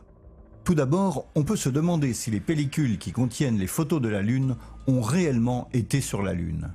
Sur ces pellicules, en fait, il manque les signes qui devraient être ceux des dégâts causés par la radioactivité présente dans l'espace cosmique. L'espace cosmique, au-delà des ceintures de Van Allen, est traversé de radiations de toutes sortes. Il y a les éruptions solaires qui éjectent des particules alpha, des protons et des électrons à 2000 km secondes. Et puis, il y a les rayons ultraviolets, les rayons X, les rayons gamma et les rayonnements cosmiques qui proviennent du cœur de notre galaxie et qui sont les plus dangereux et pénétrants de tous. Comme l'explique ce documentaire sur les rayons cosmiques, le fait que ces particules soient quasi inarrêtables est dû à leur vitesse extrêmement élevée. The key to cosmic rays transformational energy is speed. So even if it has really tiny mass, like most cosmic rays, they've got enormous velocity. So their kinetic energy can be really, really large. These charged particles could hurtle right through a spaceship and penetrate astronauts like tiny ballistic missiles. Naturellement, si les rayons cosmiques peuvent pénétrer les vaisseaux, ils peuvent également pénétrer les appareils photo. Et toutes les radiations, comme on le sait, abîment considérablement les pellicules photo. C'est Douglas Arnold qui nous l'explique. Il a travaillé pour Kodak au temps des missions Apollo. You have an enormous amount of radiation in space, and potentially it affects film, of course. And of course, as you, as you will well know, its, its prime effect is on contrast. Un exemple extrême nous vient des photos de Tchernobyl. C'est Igor Koskin qui nous le raconte, un photographe soviétique qui a pris certaines des photos les plus connues du désastre nucléaire de 86. I processed my pictures and I noticed the negatives were black. Les effets de la radioactivité sont clairement visibles sur la pellicule. Il y a une granulation dans l'émulsion photographique et les couleurs sont fortement altérées. Mais même des radiations moins fortes peuvent endommager sérieusement les pellicules photos. Ce bulletin technique de chez Kodak montre les dégâts causés à des pellicules par un simple passage au rayon X des scanners des aéroports. À gauche, un cliché original, et à droite, la même pellicule après avoir été exposée une fois seulement au scanner. Après cinq passages, la pellicule est complètement altérée et on a du mal à distinguer l'image. C'est un problème que les photographes professionnels ne connaissent que trop bien. Te, te prova a passare una pellicola raggi X de- di un aeroporto, pigli e butti via il lavoro. Infatti quando si andava eh, a fare viaggi ci aveva la valigetta a parte oppure schermata col piombo. Voici un autre exemple avec une pellicule de 400 ASA. La différence après un seul passage est évidente. Les contrastes et la saturation des couleurs disparaissent et une espèce de brouillard général recouvre toute la surface de l'image. Même avec des sensibilités plus proches de celles utilisées par les astronautes d'Apollo, les dégâts causés par un seul passage sous un scanner sont visibles. La granulation est présente partout et devient particulièrement visible dans les zones les plus sombres de l'image. Voici un autre exemple, à 200 ASA. Un seul passage au scanner a complètement abîmé la zone d'ombre du ciel nocturne.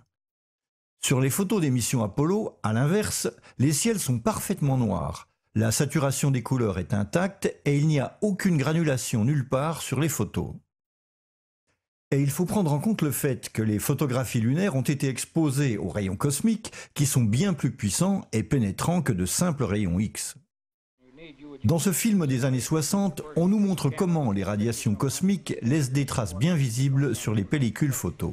Well, we don't get a picture in the conventional sense, but the charged particles do leave identifying. Uh, here's an exposure which was made on a balloon flight. It shows a uh, primary cosmic ray particle hitting a nucleus in the film emulsion. Also, you see a, an enlarged photograph of one of these emulsion plates. Il faut garder à l'esprit que cette expérience est faite avec un ballon aérostatique et que nous sommes donc en dessous des ceintures de Von Allen, à une altitude où une petite partie seulement des rayons cosmiques parvient à pénétrer. Sur la Lune, au contraire, la protection de la magnétosphère n'existe pas, et la quantité de rayons cosmiques pouvant affecter les pellicules autant que les êtres humains est bien supérieure. Le docteur David Groves, expert en analyse photographique, nous l'explique. We're protected on Earth by a nice thick atmosphere, and that combined with the magnetic field keep these ionizing particles away from us, on film, of course. In space, you're not offered that protection. De fait, grâce aux sondes qui ont exploré la Lune dans les dernières décennies, nous sommes en mesure de quantifier avec une certaine précision le flux de particules radioactives présentes dans l'espace. Dans ce document publié par la NASA, on peut lire le flux de rayons cosmiques annuels sur la superficie lunaire durant le minimum d'activité solaire comporte une quantité de particules qui se traduit par environ 4,5 particules par seconde et par centimètre carré. Ce document, également publié par le National Council on Radiation Protection, propose un chiffre similaire. 4 particules par centimètre carré chaque seconde pendant le minimum d'activité solaire. Ce flux peut se réduire de presque 4 fois pendant les pics d'activité solaire. Sur la Lune, nous avons donc un flux moyen qui peut varier entre 1 et 4 particules radioactives par seconde et par centimètre carré. Une véritable pluie de rayons cosmiques, en somme, capable de traverser n'importe quel objet qui se trouve sur leur route. En évaluant la durée pendant laquelle les appareils photos sont restés à la surface de la Lune, sans aucune protection contre les radiations, jusqu'à 8 heures d'affilée, chaque rouleau de pellicule aurait dû recevoir des dizaines de milliers d'impacts de rayons cosmiques et subir leurs dégâts de façon bien visible. Au lieu de cela, les images prises par les astronautes sur la Lune ne montrent aucune trace de dégâts causés par la radioactivité. Les couleurs sont parfaites, les contrastes impeccables et il n'y a aucun signe de granulation dans l'émulsion. Ce fait apparemment inexplicable nous est commenté par Douglas Arnold et David Gross. if you look at the results, top quality duplicates, you can see that there appears to be no effect whatsoever. I would expect to see on the transparencies evidence of small bright dots where a high velocity nuclear particle had impinged on that film. I have no evidence whatsoever that this has occurred. Mais comment cela est-il possible? Au fond, c'est la NASA elle-même dans ce document du projet Skylab qui écrit Le milieu radioactif rencontré lors des missions orbitales a été étudié à fond. Les résultats indiquent que la radioactivité ambiante peut sérieusement endommager les pellicules non protégées. Et plus loin, le niveau d'énergie des rayons cosmiques intergalactiques est si élevé qu'il n'existe aucune méthode pratique pour se protéger des dégâts dus aux radiations cosmiques. Ce facteur de dégradation doit être accepté, et même s'il est significatif, il ne devrait pas être inacceptable pour des périodes brèves d'exposition avec des pellicules de sensibilité relativement basse. Donc, étant donné que, d'après la NASA, il n'existe aucune méthode pratique pour se protéger des dégâts dus aux radiations cosmiques et que ce facteur de dégradation doit être accepté, où peut-on voir des dégâts significatifs mais acceptables qui auraient dû affecter les pellicules des photos? Étant donné que ceci est le résultat de l'impact des rayons cosmiques sur une pellicule à l'intérieur de la magnétosphère où les radiations sont atténuées par rapport à l'espace ouvert, pourquoi sur les photos lunaires ne voit-on aucun dommage créé par ces radiations? Étant donné que ceci est le résultat d'un simple passage sous un scanner à rayon X, pouvez-vous expliquer pourquoi sur les pellicules photos des missions Apollo qui sont restées exposées jusqu'à 8 heures aux radiations, on ne distingue aucun signe visible de granulation? Vu que chaque seconde, la surface lunaire est frappée en moyenne par une à quatre particules par centimètre carré, et que les appareils photo sont restés sur la surface lunaire jusqu'à 8 heures consécutives sans aucune protection, pouvez-vous expliquer pourquoi il n'y a aucun signe de dégradation sur ces pellicules? Une autre question à se poser est Comment les appareils photo auraient pu fonctionner sur la Lune du fait des températures extrêmes, surtout le froid, que l'on rencontre à la surface de notre satellite? En réalité, sur la Lune, étant donné qu'il n'y a pas d'atmosphère pour atténuer la transition entre soleil et ombre, on peut passer rapidement d'une température de plus 100 degrés dans les zones illuminées par le soleil à une température de moins 100 degrés dans les zones d'ombre. In space, you're facing the sun, it's 240 degrees. The dark side is 240 degrees below zero. The environmental hazards were really tough, like thermal control. I mean, it gets, you get in the shadow on the moon and it can drop hundreds of degrees below zero. Mais comment un appareil photo, dont les délicats mécanismes d'entraînement sont sujets à la dilatation et à la contraction thermique, peut-il continuer à fonctionner dans des conditions aussi extrêmes? Prenons l'exemple de la descente de Neil Armstrong sur la surface lunaire. Entre le moment où la cabine est dépressurisée et la porte ouverte et celui où Armstrong touche la surface lunaire, il se passe environ 30 minutes. L'intégralité de la descente de l'astronaute se déroule dans le cône d'ombre du LEM, et donc à une température avoisinant les 100 degrés en dessous de zéro. Une fois qu'Armstrong a foulé la surface lunaire, son compagnon lui passe d'en haut l'appareil photo. Armstrong le fixe sur son buste, avant de faire quelques pas en arrière et de prendre une première série de photos tout en restant en permanence dans l'ombre du LEM. Voici la vue panoramique complète réalisée en restant toujours dans le cône d'ombre du module lunaire. Mais comment un appareil photo peut-il continuer à fonctionner dans un environnement proche de 100 degrés en dessous de zéro? Nous savons que les appareils photo se bloquent déjà à une température beaucoup moins extrême à cause du phénomène de la contraction thermique qui se produit sur ces délicats mécanismes internes d'entraînement. Ingranaggi meccanici della macchina a 100 gradi sotto si, si bloccano perché il metallo si restringe il metallo si dilata. Quindi le macchine fotografiche sono fatte a ingranaggi meccanici. Io non sono mai stato a 100 gradi sopra e 100 gradi sotto, però sono stato a 30, 40 gradi sotto in Manciuria e mi si bloccava la macchina. Quando andavo in montagna mi toccava mettere tutti i materassini addosso, perché sennò non funzionava, insomma. non funzionava proprio la meccanica, perché i metalli si, si modificano col calore, cioè la dimensione anche, sono millimetri decimi di millimetro, ma però per una macchina complessa, una macchina fotografica. Dans cette vidéo promotionnelle d'Audi, qui projette d'envoyer une sonde automatique sur la Lune, il est bien expliqué comment, après seulement 10 minutes passées dans une zone d'ombre, les pièces mécaniques du véhicule lunaire risquent de se bloquer. Another danger to look out for shadows, which could instantly damage the rover. That's because of the moon's extreme changes in temperatures and lack of atmosphere.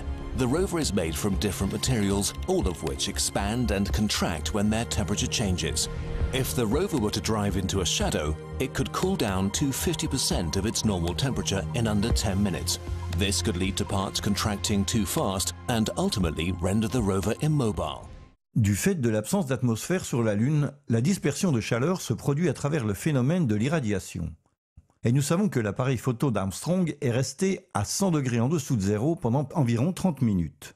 Cette communication par radio nous confirme que 35 minutes sont passées depuis que la cabine a été dépressurisée et que la trousse de survie des astronautes, appelée PLSS, a été activée.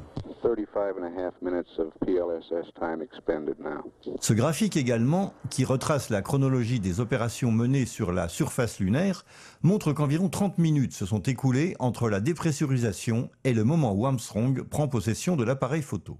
L'appareil photo a donc eu tout le temps nécessaire pour irradier et disperser autour de lui une bonne partie de la chaleur accumulée pendant son séjour dans la cabine pressurisée.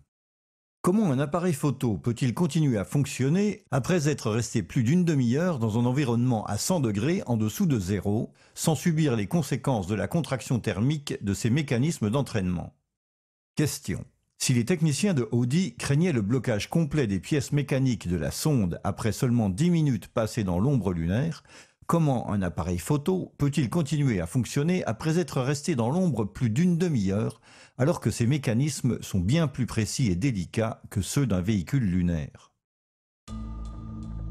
Un autre problème lié au froid est qu'à des températures aussi basses, la pellicule perd toute sa souplesse et devient rigide au point de pouvoir se briser lors de son entraînement. Même s'il se trouve dans le vide, en fait, la pellicule touche le corps de l'appareil tout le long de son parcours. Par conséquent, si l'appareil photo irradie et perd progressivement sa chaleur, la température de la pellicule descend elle aussi à la même vitesse. Et nous savons que les pellicules photo, en dessous d'une certaine température, deviennent fragiles comme du verre. Le problème est que la pellicola a meno 80 diventa cristallo, si rompe. Nel momento in cui carichi si spezza. Quindi non puoi avanzarla? Molto improbabile, cioè, è, uno è stato sempre uno dei grossi problemi di lavorare all'estremo freddo, è che la pellicola diventa vetro. Freddo, il freddo è micidiale, io mi ricordo in Russia a meno 26 eh, si combatteva che non si spezzasse la pellicola ed era a meno 26. E la pellicola a meno 40 cosa succede? E la pellicola teoricamente non dovrebbe funzionare. Però se ha funzionato è stati. Venons-en maintenant à des problèmes spécifiques qui concernent le type d'éclairage utilisé pour les photos lunaires. Il existe en fait plusieurs indices suggérant que pour éclairer le décor, une source artificielle de lumière a été utilisée et non le Soleil, et que par conséquent nous sommes sur Terre et non sur la Lune. Le premier de ces indices est ce que l'on appelle les points chauds ou hotspots. Le Soleil est une gigantesque et puissante source de lumière, capable d'éclairer avec ses rayons des planètes tout entières. Pour cette raison, quand le Soleil éclaire une vaste zone plane, la lumière parvient avec la même intensité sur l'ensemble des points visibles. Que l'on regarde une zone proche ou au contraire une zone lointaine, la luminosité du sol est pratiquement la même partout. Cela est dû au fait que le Soleil est des milliers de fois plus grand que la Terre et qu'il n'a aucun mal à éclairer n'importe quelle partie de la surface terrestre. Si à l'inverse, on utilise une source de lumière artificielle, par exemple un projecteur de cinéma, la zone éclairée sera beaucoup plus réduite. Au centre de la zone éclairée, on verra en outre se former ce qu'en photographie nous appelons un hotspot ou point chaud. Tandis que plus on s'éloigne du centre, on peut constater visuellement une baisse de la lumière, appelée aussi fall off.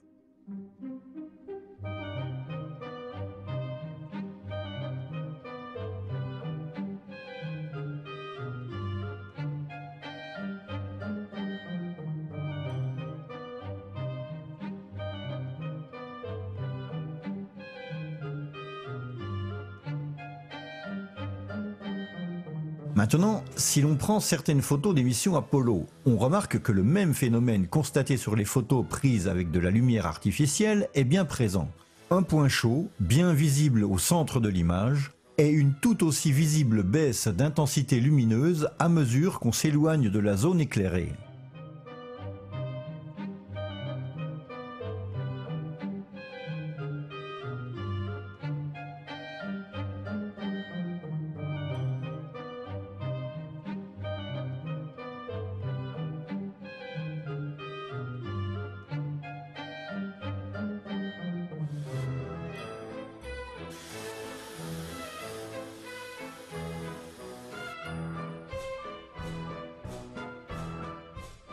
Aucune raison pour que cette région-là apparaisse plus sombre que celle-ci.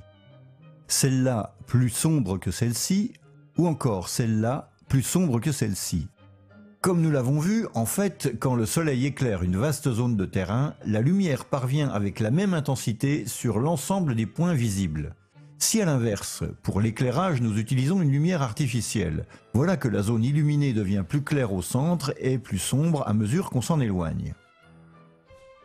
Un cas évident de point chaud est présent sur l'une des photos les plus connues de la NASA, celle de Buzz Aldrin réalisée par Neil Armstrong lors de la mission Apollo 11. Ici, la différence d'illumination du terrain se voit à l'œil nu, mais en augmentant le contraste, cela devient parfaitement évident. Nous avons demandé son avis sur cette photo à Jan Lundberg, le responsable de la société Hasselblad qui a fourni à la NASA les appareils photos pour les missions Apollo. Quand nous lui avons montré la photo d'Aldrin, il a dû reconnaître un peu embarrassé que l'image semblait avoir été prise avec un projecteur de cinéma, et il n'a pas su fournir d'explications alternatives. Yes, it seems like he's standing in the spotlight. and I can't explain that. Uh, that, that escapes me. Why? So um, maybe you have to find Armstrong and ask him. D'autres photographes professionnels sont également surpris de ces différences de lumière tout à fait inexplicables. È chiaro che qua c'è una caduta di luce strana. Il sole arriva così, ma è strano che qui sia più buio che lassù, sembra un riflettore messo non centrato bene. Anche qui, che strano, perché sta sorgente luminosa. Sembra ci sia una lampada con attorno un riflettore, tipico della- delle lampade da studio. La scurezza della parte scura di qua, della parte in ombra qua, è superiore alla, alla parte in ombra qua. E non dovrebbe essere. E non dovrebbe essere, dovrebbe essere uguale. Qui effettivamente ci si domanda cos'è che crea questa fascia di ombra, perché in teoria è un deserto e quindi Sì, anche qui no, perché è più scuro qui, cioè sembra come che cioè, non c'è motivo che queste colline sia, perché il sole è a milioni di chilometri. cioè, sì, potrebbe essere lo scuro dovuto diciamo al fatto che il sole È radente. tramontando è radente, ma Sì. radente fa delle ombre semmai più lunghe, ma non questo tipo di ombra. Se fossimo in una sala di posa o se avessimo puntato un grande faro in questa scena, per quanto grande sia il faro non può mai avere una luminanza come quella naturale del, del sole. E quindi per forza si creano delle cadute di luce. In studio hanno molto senso, in effetti diciamo in studio questo è giustificabilissimo, però qui non ha molto senso, dovrebbe essere il piatta- piattamente, uniformemente illuminato dal sole. Sì, e le cadute qua sono pazzesche. Very funny. That's uh, totally spotlight. But it's totally spotlit. No? It's not like at all a, a, a big light coming over there. Yeah, that is funny. Yeah, that, that is like totally lit. It's absolutely true. And I know these pictures. I've never thought about it. Almeno è più scuro il terreno in lontananza. Sì, sì, sì. E non si capisce perché. Non si capisce perché. il sole dovrebbe illuminare il terreno. Tutto da tutte le parti, è all'infinito la luce praticamente, no? E sono illuminate queste cose qui, il terreno dovrebbe essere Eh, come qui. eh, infatti. Solito Dà la discorso. sensazione di uno spot. Qui, sì. proprio un, un sirio. Un grande sirio. Un Sirio, pour ceux qui ne sont pas du métier, est un gros et puissant projecteur de cinéma. Et curieusement, dans un documentaire sur les missions lunaires, il a été réalisé une image très similaire en utilisant un projecteur de cinéma. Et comme on peut le voir, le résultat est très très proche de celui de la photo originale d'Aldrin. D'après Paolo Attivissimo, il y aurait pourtant une explication tout à fait différente à la chute de luminosité dans le fond. C'est le moteur du LEM qui, en éjectant au loin la poussière pendant l'alunissage, aurait fait émerger au premier plan une couche de sable plus claire que la normale. Non è l'orizzonte del terreno lontano a essere più scuro, è quello il suo colore naturale, è la parte in primo piano che è stata pulita dal getto e quindi ha portato in, in superficie o, es, o ha esposto del materiale più chiaro. Mais l'hypothèse d'Attivissimo ne tient pas, et ce pour au moins deux raisons. La première est que le phénomène des points chauds se produit au cours de missions et de situations différentes, certaines d'entre elles se passant bien loin du LEM et des lieux d'alunissage. Il n'est guère probable que le LEM soit passé nettoyer le terrain avec soin dans toutes ces zones avant de se poser sur le sol lunaire. La seconde raison est que la NASA elle-même a démenti le fait que le sable sous-jacent sur la Lune soit plus clair qu'en surface. Et c'est même, d'après eux, exactement le contraire. Dans un rapport sur les missions Surveyor, publié en 1969, la NASA écrit L'observation de l'échantillon de surface lunaire remué par l'atterrissage et le décollage de la sonde Surveyor 6 montre que le terrain lunaire, même à une profondeur de seulement quelques millimètres, a un facteur moyen de luminance significativement plus bas que la surface qui n'a pas été dérangée.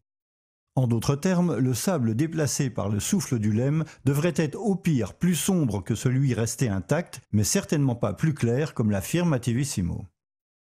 Une autre hypothèse suggérée par les débunkers pour expliquer la luminosité irrégulière du terrain consiste à attribuer la baisse de luminosité à ce que l'on appelle le vignettage, c'est-à-dire le phénomène qui se produit sur certaines photos où les angles apparaissent plus sombres que le reste de l'image.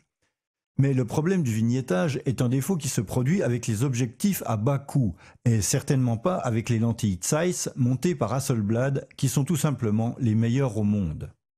Alcuni hanno suggerito che sia un problema di vignettatura, secondo te può esserlo? No, se una, l'asse la vignettatura scherziamo, non la fa.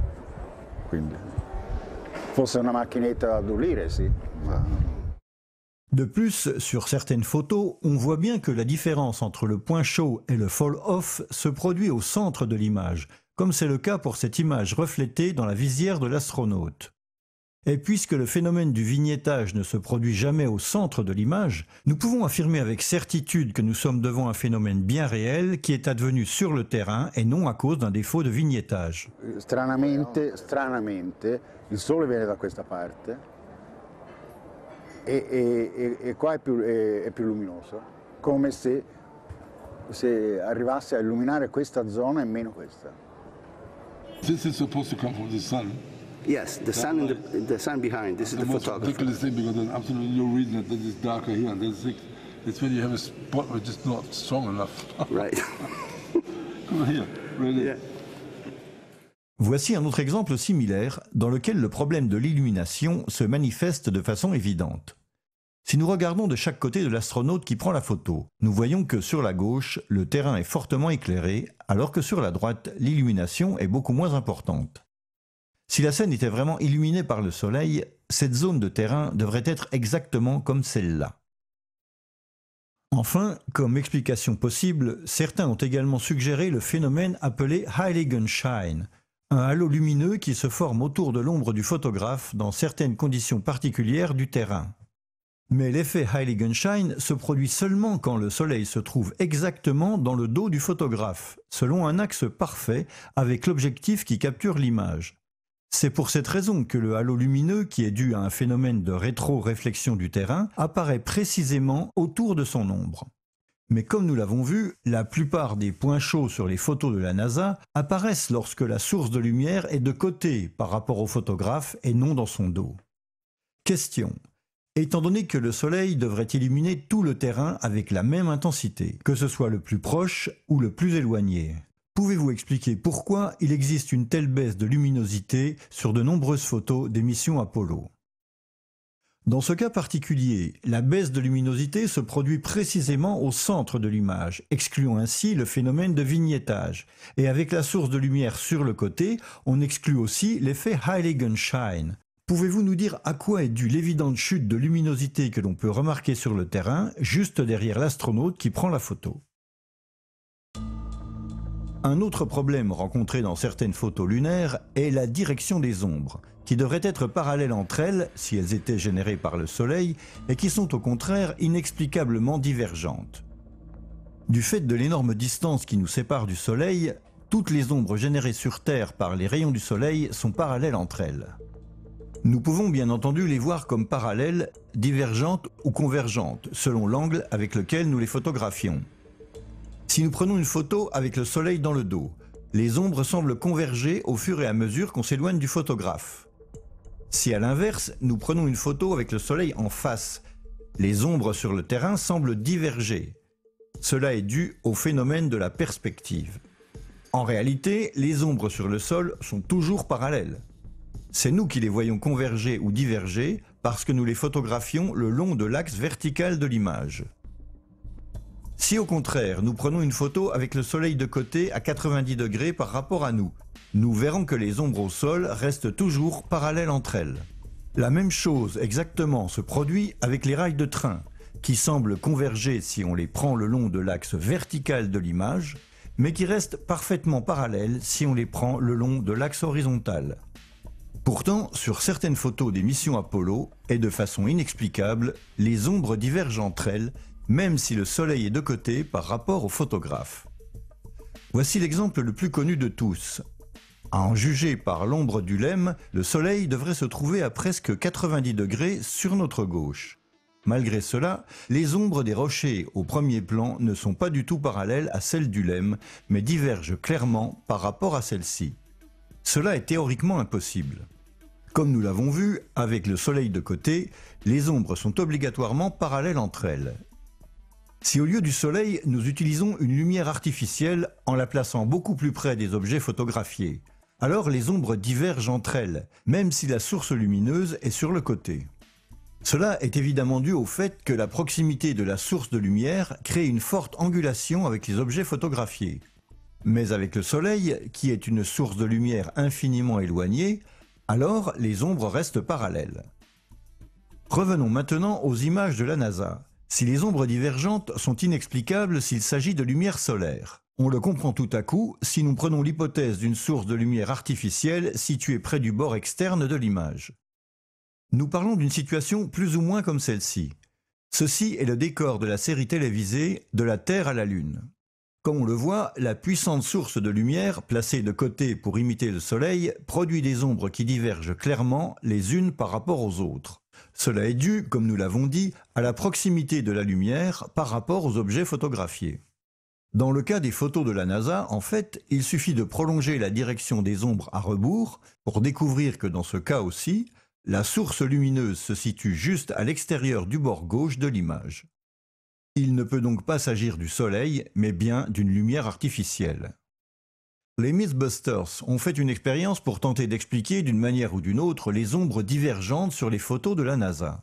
D'abord, ils ont créé des ombres parallèles sur le sol, puis ils ont commencé à modifier la topographie, insérant des monticules et des petites vallées, jusqu'à faire diverger les ombres des objets pris en photo.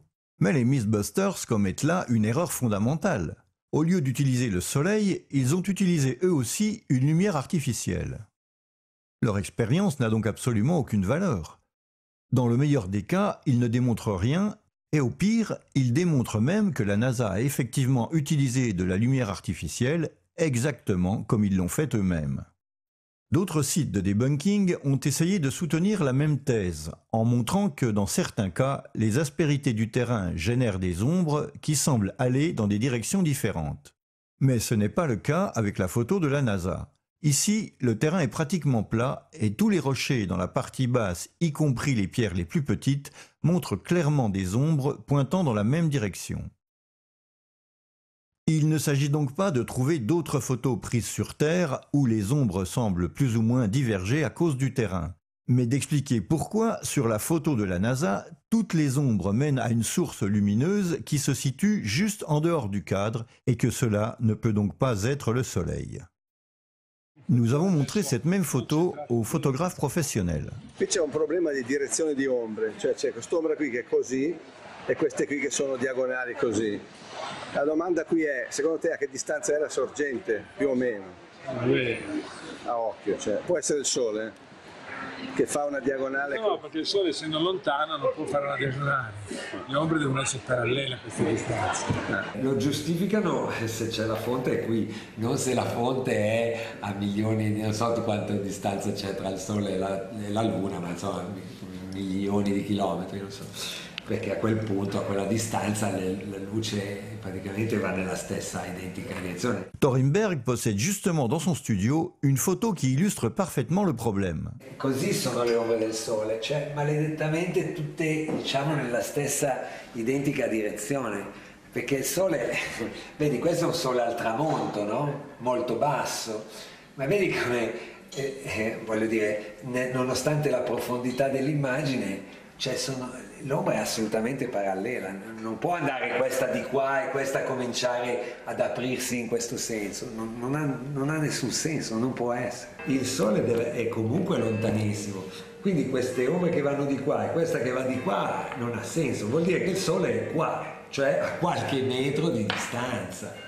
Oh, guarda. No, no, dovrebbe eh, esserci un palo se, qua. Se tira giù un palo, vabbè, ma se io mi immagino qua un, un, un, bel crane con sì, un bel sì, esatto. ari da 12.000 fa totalmente queste luci qui, c'è quella luce che viene da qua, viene qua e quella là va là.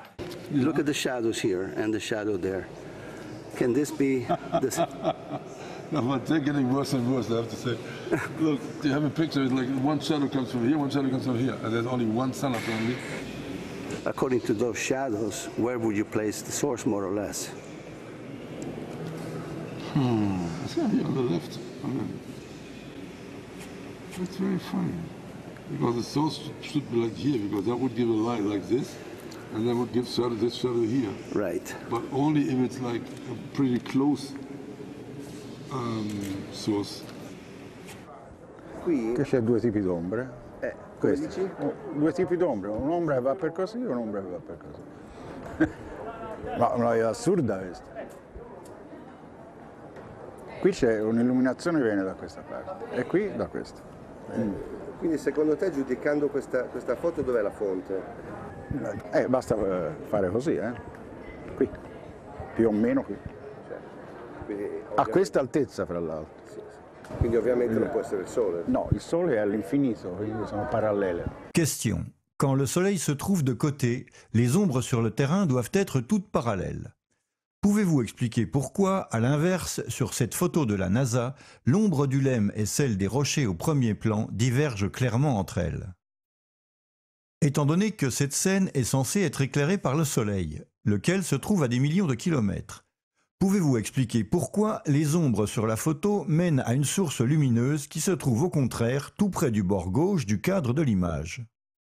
Étant donné que les photographes interrogés situent la source lumineuse à quelques mètres seulement du bord gauche du cadre, pouvez-vous expliquer comment il peut s'agir du Soleil? Il y a aussi une autre série d'images extraites de la mission Apollo 12 qui suggère l'utilisation d'une lumière artificielle dans le décor. Sur toutes ces photos, on peut voir au sol l'ombre noire de ce qui apparaît comme étant l'astronaute en train de prendre les photos.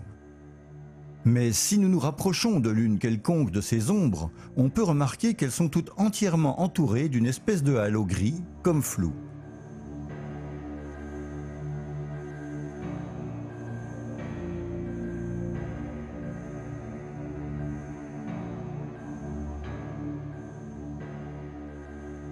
Cet aspect flou de l'ombre est absolument incompatible avec une ombre projetée par la lumière du Soleil. En effet, notre astre se trouvant à plusieurs millions de kilomètres, il génère sur le terrain des ombres nettes et bien dessinées. Si au contraire on utilise une lumière artificielle placée à proximité du sujet photographié, alors on obtient une ombre de ce type au contour flou et sans netteté. Quelqu'un m'a suggéré que le halo entourant l'ombre serait simplement dû à une erreur dans la mise au point. Mais ce n'est pas le cas. Si l'on observe en effet le terrain à côté de l'ombre, on voit que l'image est parfaitement nette du point le plus proche au point le plus lointain. Ici, la profondeur de champ est totale. Il ne peut donc pas s'agir d'une erreur de mise au point, mais bien d'une source de lumière qui génère une ombre floue sur le sol et qui ne peut donc pas être le soleil.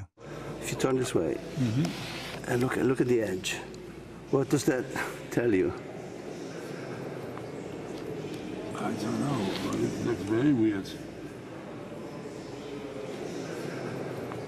Could that be the sun? Does the sun cast shadows that soft? No, because you- see the shadows here, they are absolutely tough, no? Right. Wow. No, indubbiamente l'ombra dovrebbe essere più netta, visto che il sole è lontano. Più, più, più lontana la sorgente luminosa e più l'ombra è netta, cioè non è sbarrata. È stranissimo quest'ombra sbarrata. Più la distanza di una, cioè, eh, più la fonte è distante, più la fonte è distante e più le ombre sono nette. L'ombra dovrebbe essere netta, invece è sfumata, quindi questo c'è un velatino sul sole o su... Ma questo è, questo è proprio da, questo è proprio da incompetenti, eh, chi l'ha fatto, perché il sole fa un'ombra netta, netta.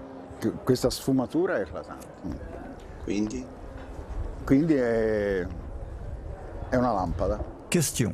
Étant donné que le Soleil, situé à des millions de kilomètres de distance, projette nécessairement des ombres nettes et précises sur le sol, pouvez-vous expliquer pourquoi ici, au contraire, l'ombre de l'astronaute est entourée d'un halo flou bien visible? Voyons maintenant le problème le plus important et le plus débattu posé par les images lunaires, celui des photos prises à contre-jour. Quand on prend une photo avec le soleil en face de nous et que le sujet est dans l'ombre, on dit que la photo est prise à contre-jour. Sur les photos à contre-jour, le sujet qui est dans l'ombre est toujours plus sombre que le terrain ou l'environnement éclairé par le soleil. Prenons par exemple cette photo prise à contre-jour. Comme on peut le voir, toute la partie du sujet dans l'ombre, autrement dit la cabane, est beaucoup plus sombre que le sable qui l'entoure. La raison est toute simple.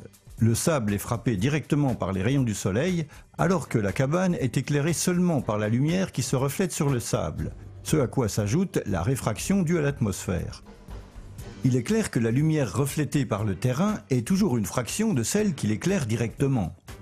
Pour cette raison, il n'est absolument pas possible d'équilibrer la lumière directe et celle reflétée dans une photo à contre-jour. Le terrain éclairé directement par le soleil sera toujours plus lumineux que le sujet dans l'ombre.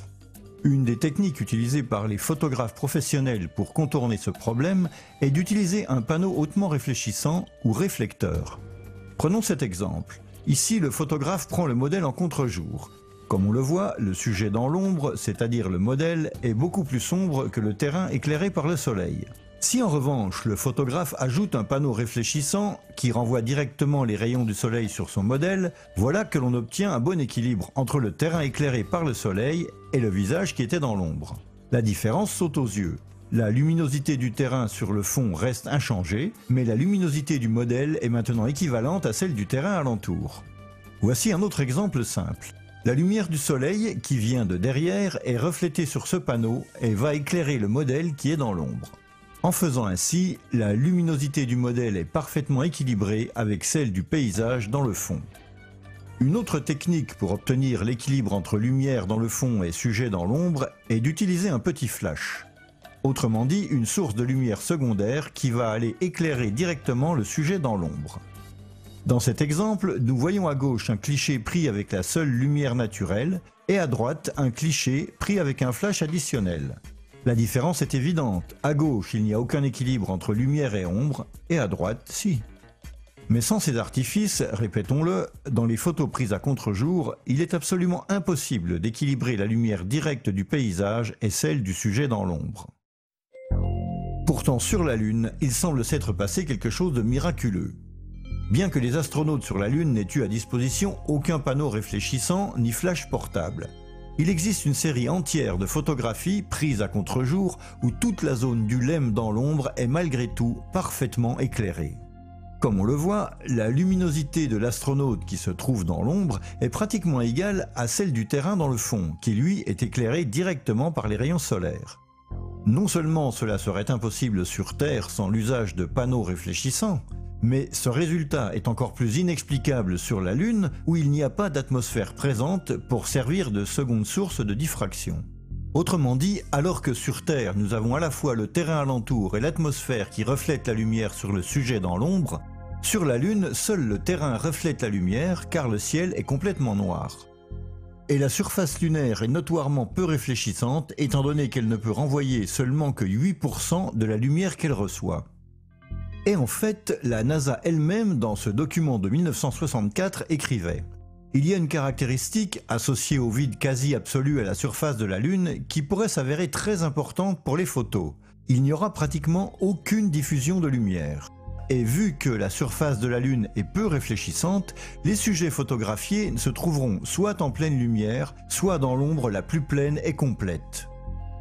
Autrement dit, d'après la NASA, la partie dans l'ombre du LEM aurait dû apparaître plus ou moins comme ceci. Au lieu de cela, nous avons une telle abondance de luminosité qu'on peut voir très clairement les détails, même ceux placés dans les zones d'ombre. Ce photomontage, créé par la NASA en assemblant différents clichés de la même séquence, montre très clairement la situation sur le terrain. La source de lumière étant située derrière le LEM, on ne comprend pas bien ce qui peut avoir illuminé de manière aussi substantielle la partie dans l'ombre du module lunaire. Pourtant, certains des bunkers, sans même être des photographes professionnels, insistent pour dire que le reflet sur le sable pourrait fournir suffisamment de lumière pour éclairer la partie sombre du LEM. Conspiracy theorists are saying that the shot had to have been faked using a fill light. Personally, I think it's because the moon's surface is reflective.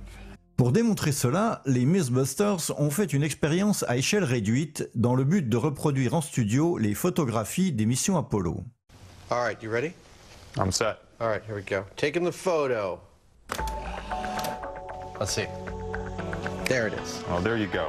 He's standing full on in the shadow, and you'd think you wouldn't be able to see him. He'd be dark, but he's not. He's in brightest day. With a single light source, with the surface of the same reflectivity as the moon, our astronaut is clearly visible, busting that myth. Mais les Mythbusters ont commis une grossière erreur.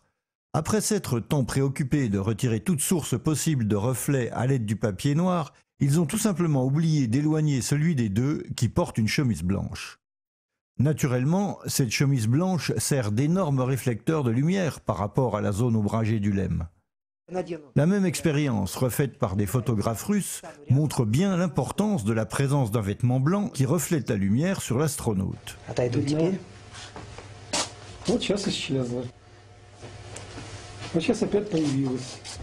Dans tous les cas, le problème n'est pas simplement de réussir à voir l'astronaute dans l'ombre. Comme le savent tous les photographes, pour mieux voir dans l'ombre, il suffit d'ouvrir le diaphragme de l'objectif.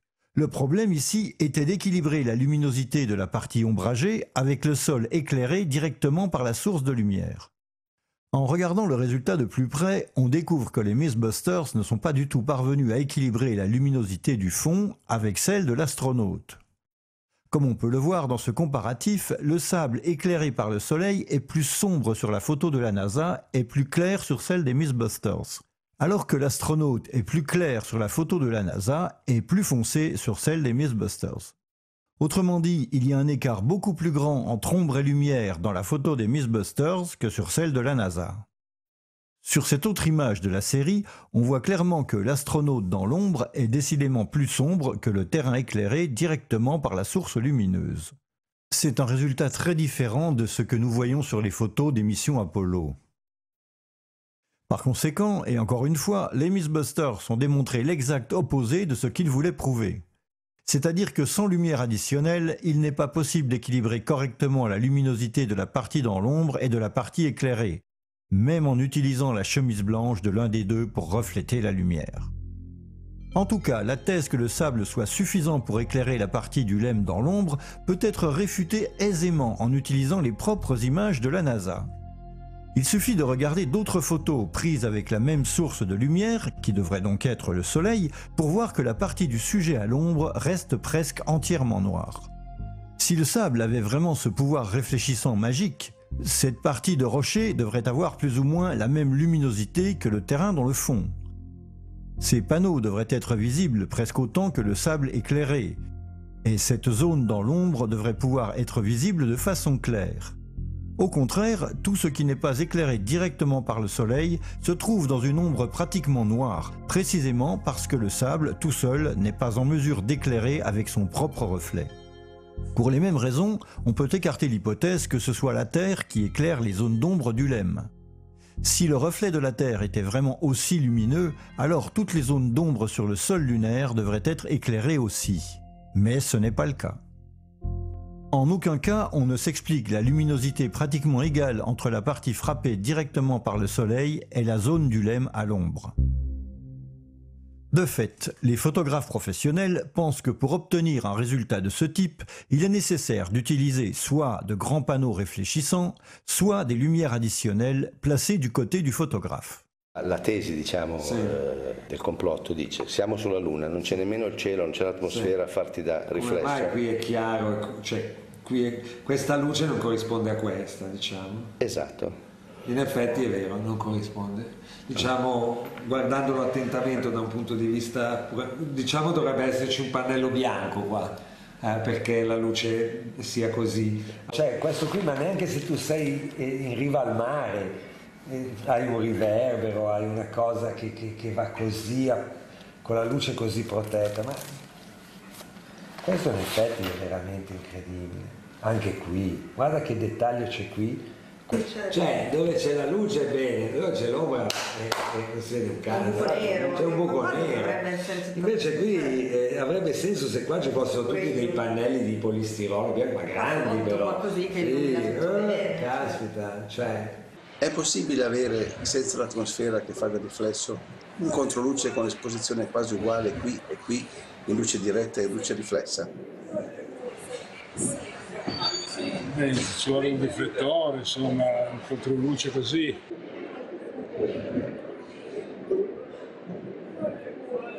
È chiaro che ci sono dei riflessi qui di, di, del metallo, che vuol dire che c'è una, una, sorgente di luce dalla parte di chi fotografa. Lo vedo soprattutto nei riflessi qui, no? Vuol dire che da questa parte qui c'è una sorgente di luce. No, non c'è l'aria da sole non ce l'ha questa, per esempio, tutto questo c'è un'aria da lampada di studio, questo schiarimento qui, c'è questa luce sulla scala, per esempio, da dove viene? Quello che mi impressiona è che il sole, un controluce così, in più riesco a vedere i dettagli di questo riflesso su questo oro. Da dove viene? Perché qui il cielo è nero. Il cielo è nero, non c'è. L'unica riflessione è la sabbia, però dovrebbe essere molto più luminoso sotto e non sopra. Questo riflesso sopra qui da dove viene? A meno che abbiamo portato dei grandi riflettori, ma non credo. Insomma. La luce viene da dietro al modulo, no? Eh. L'astronauta o presunto tale è al buio totale e è illuminato. Perché? C'è un'altra luna o c'è qualcuno con un faro? Voglio dire, perché tanta così qui e, e, e tanta così nella parte buia più che altro? Da dove viene questa luce? Qui dovrebbe essere completamente nera, come il cielo.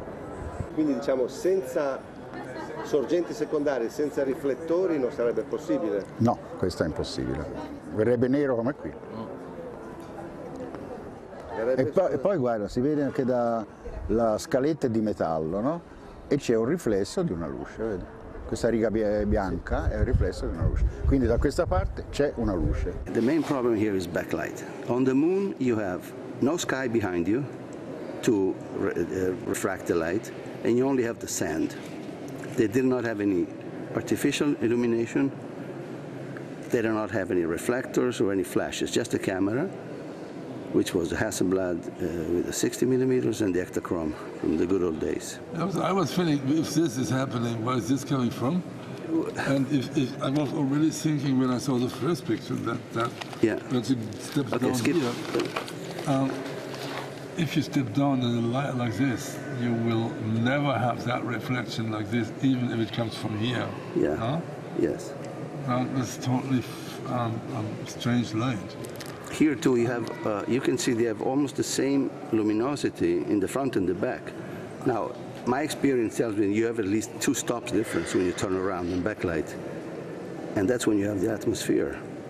Yeah, but that is totally lit with the reflector, no? Uh, you tell me. That's that's the whole that's the whole discussion.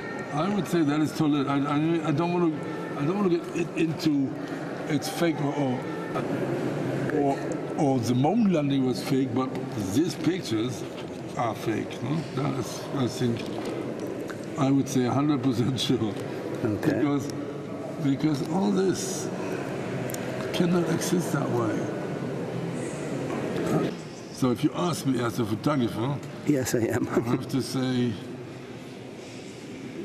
this cannot be on any moon or something with one single light. The sun, look, look, it's totally. If you see that, I mean that's a movie light, no?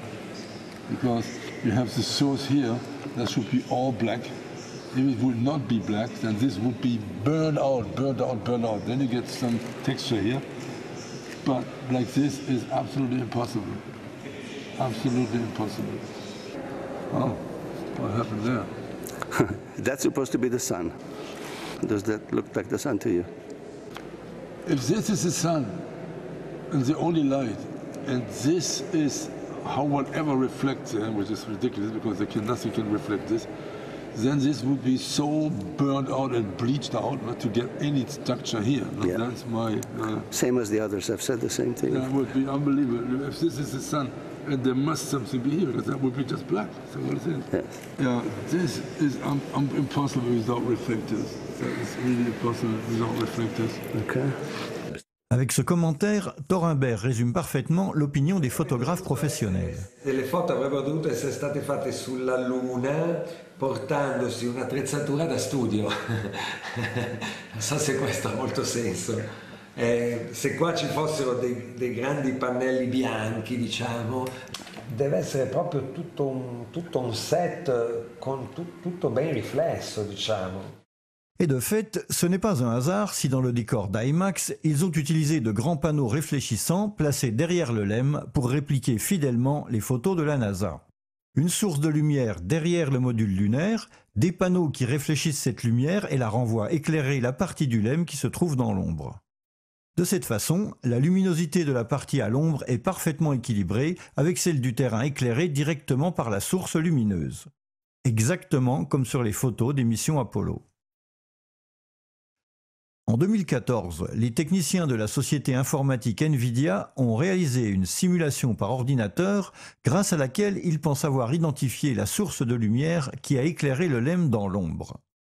D'après eux, ce serait la combinaison blanche de Neil Armstrong, autrement dit l'astronaute qui prend les photos. there is a huge glowing bright white light.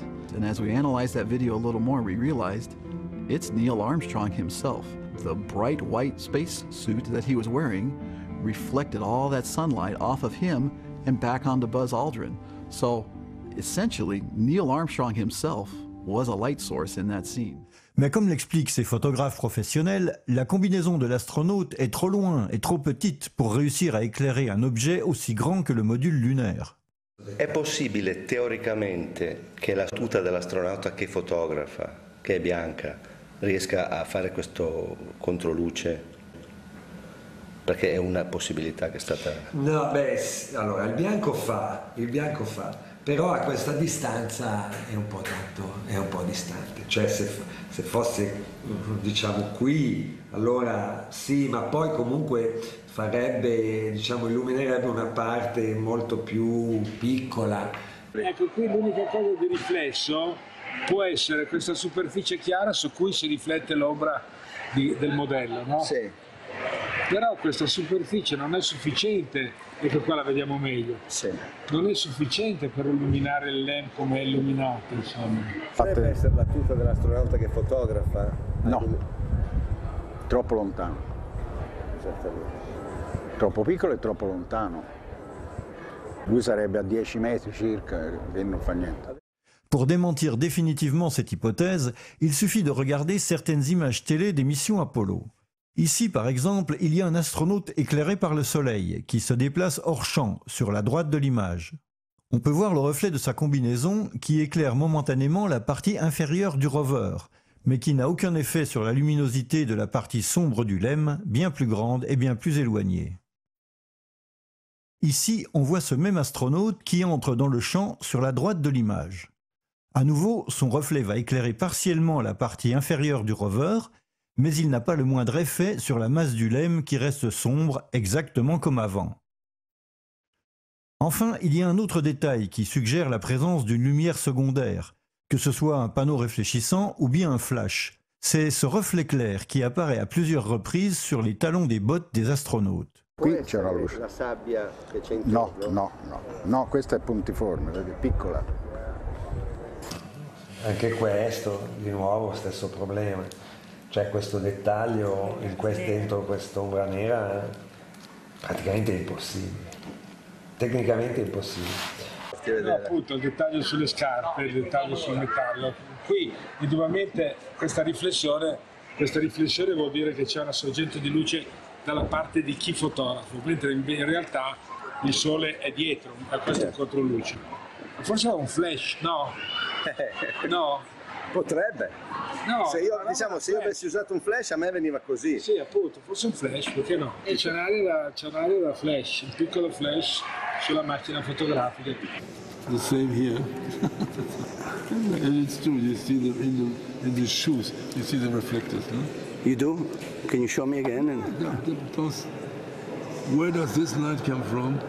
What in the in the shoes you have that that shine.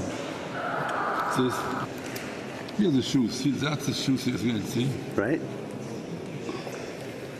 that's yeah. Could that be a flashlight? Uh, Fresh light or reflector or anything, no? Yeah. Question. Étant donné que la NASA elle-même a déclaré Puisque la surface lunaire est en soi peu réfléchissante, les sujets photographiés se trouveront soit en pleine lumière, soit dans l'ombre la plus absolue. Pouvez-vous expliquer pourquoi la partie du LEM qui se trouve dans l'ombre est aussi fortement éclairée? Comme nous venons de le montrer, le reflet du sable sur la surface lunaire n'est pas suffisant pour éclairer les parties des objets dans l'ombre. Et la combinaison des astronautes est trop petite et trop éloignée pour éclairer la partie du LEM dans l'ombre. Pouvez-vous alors nous expliquer ce qui a pu éclairer de façon aussi substantielle les parties à l'ombre du module lunaire? Étant donné que le sol lunaire reflète seulement 8% de la lumière qu'il reçoit, comment la partie dans l'ombre du LEM, qui est illuminée seulement par la lumière reflétée, peut-elle avoir la même luminosité que le terrain alentour qui, lui, est frappé directement par le Soleil? Vu que même les Mythbusters, avec leur expérience, ne sont pas parvenus à équilibrer la lumière incidente et celle reflétée, Pouvez-vous expliquer comment cela a été possible pour plusieurs photos des missions Apollo? Étant donné que les photographes professionnels interviewés soutiennent que ces photos n'auraient pas été possibles sans l'utilisation de panneaux réfléchissants ou de lumière supplémentaire, pouvez-vous expliquer comment les astronautes ont pu les réaliser sur la Lune puisqu'ils ne disposaient ni de réflecteurs ni de lumière additionnelle? Face à cette apparente falsification des photos lunaires, certains ont avancé une hypothèse extrême.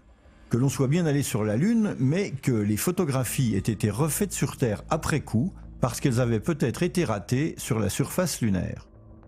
Mais cela n'est pas possible pour au moins deux raisons. Tout d'abord, les photos falsifiées concernent toutes les missions, d'Apollo 11 à Apollo 17. Il faudrait donc nous expliquer quel type de problème a bien pu se poser au niveau photographique durant pas moins de six missions consécutives pour obliger la NASA à refaire chaque fois les photos en studio. Deuxièmement, tout le monde peut vérifier que les photos et les images télé en direct coïncident à la perfection entre elles, dans le sens où chaque détail présent sur les images télé est aussi présent sur les photos de la scène. Cela signifie donc que les photos et les images télé ont été faites au même moment et au même endroit. Et puisque les images télé ont été retransmises en direct à la télévision, cela veut dire que les photographies aussi doivent avoir été prises au même moment et non après. Ou bien éventuellement avant, si les images télé avaient été préenregistrées en studio, mais certainement pas après la date de la diffusion sur les ondes. Au point où nous en sommes, il nous reste une chose à considérer. S'il est vrai, comme tous ces éléments concordants semblent le montrer, que quelqu'un à la NASA a décidé de falsifier les voyages lunaires, il fallait évidemment convaincre les astronautes de réciter leur partie jusqu'au bout. Il n'aurait pas été possible de feindre d'aller sur la Lune sans leur pleine collaboration. Les astronautes sont des personnes exceptionnellement courageuses, motivées par un profond sens de l'honneur qui leur vient de la pratique d'un métier où ils mettent quotidiennement leur vie en jeu pour faire avancer le progrès scientifique.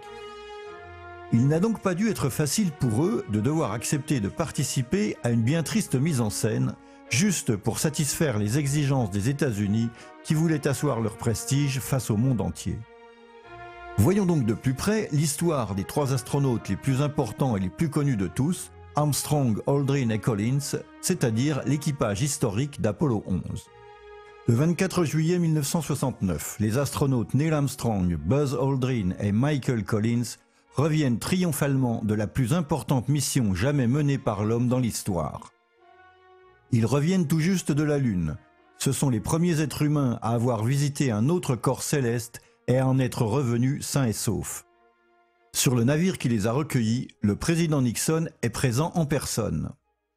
Après un bref échange devant les caméras, Armstrong, Aldrin et Collins sont placés en quarantaine et mis quelques semaines à l'isolement. Puis le 16 septembre, ils se présentent pour la première conférence de presse devant les journalistes du monde entier qui les accueillent par une bruyante standing ovation.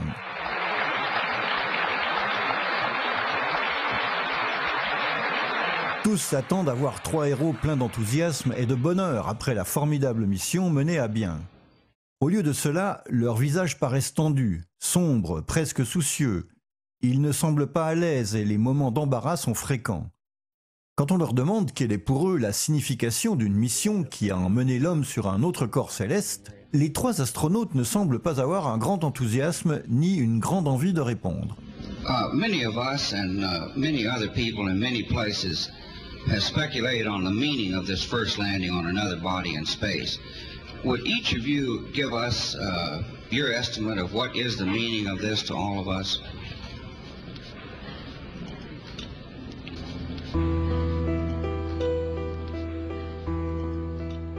Et quand Armstrong décrit leur aventure comme le début d'une nouvelle ère, il ressemble davantage à quelqu'un obligé de réciter un texte qu'à une personne convaincue de ce qu'elle dit.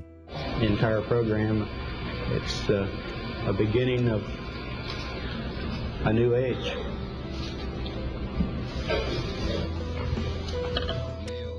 Mais le moment le plus embarrassant survient lorsque le célèbre journaliste Sir Patrick Moore leur demande s'ils ont pu observer les étoiles depuis la Lune.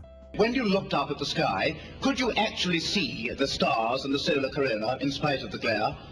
Mais aucun d'entre eux, étonnamment, ne se souvient avoir vu une seule étoile à l'œil nu. We were never able to see stars from the lunar surface or on the daylight side of the moon by eye without looking through the optics. Même Collins, qui est resté à tourner en orbite lunaire alors que les deux autres descendaient à la surface de la Lune, ne se rappelle pas avoir vu une seule étoile. I don't remember seeing any. Ceci constitue un fait véritablement déconcertant, étant donné que leurs collègues des missions Gemini qui les ont précédés de quelques années dans l'espace se rappellent très bien avoir passé de longues heures justement à observer les étoiles. We'd spend uh, several hours uh, just with our faces pressed up against the window at night with all the lights turned down low and watching the stars. Les astronautes des missions de la navette spatiale comme James Rayleigh racontent eux aussi avoir vu littéralement des millions d'étoiles briller dans le cosmos. What are the stars like in space? Like, are they just brighter than on Earth, or how, how would you describe it? The, they're brighter, but they're different. And a lot of things different about it. One, you don't have the atmospheric distortion, so they don't twinkle, right? So you see lots of points, and you see lots of points, and that literally millions of them. On se demande bien où sont réellement allés ces astronautes durant ces huit jours qu'ont duré leur mission, s'ils ne se souviennent pas avoir vu une seule étoile. Un autre fait surprenant est que les trois astronautes d'Apollo 11, au lieu de poursuivre une belle carrière ascendante au sein de la NASA, ont soudain décidé, au retour de leur mission triomphale, de quitter l'agence spatiale. À peine un an après leur mission, avec un programme Apollo encore pleinement actif, tous trois démissionnent de la NASA.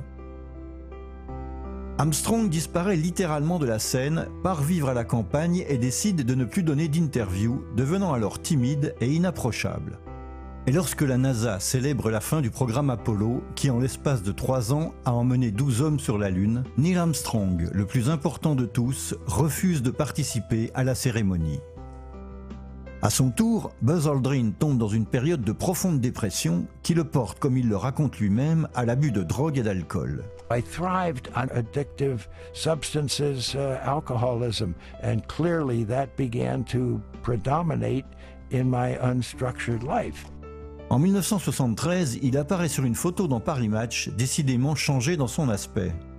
Aldrin déclare même au magazine français On nous croit des héros, mais la Lune nous a brisés.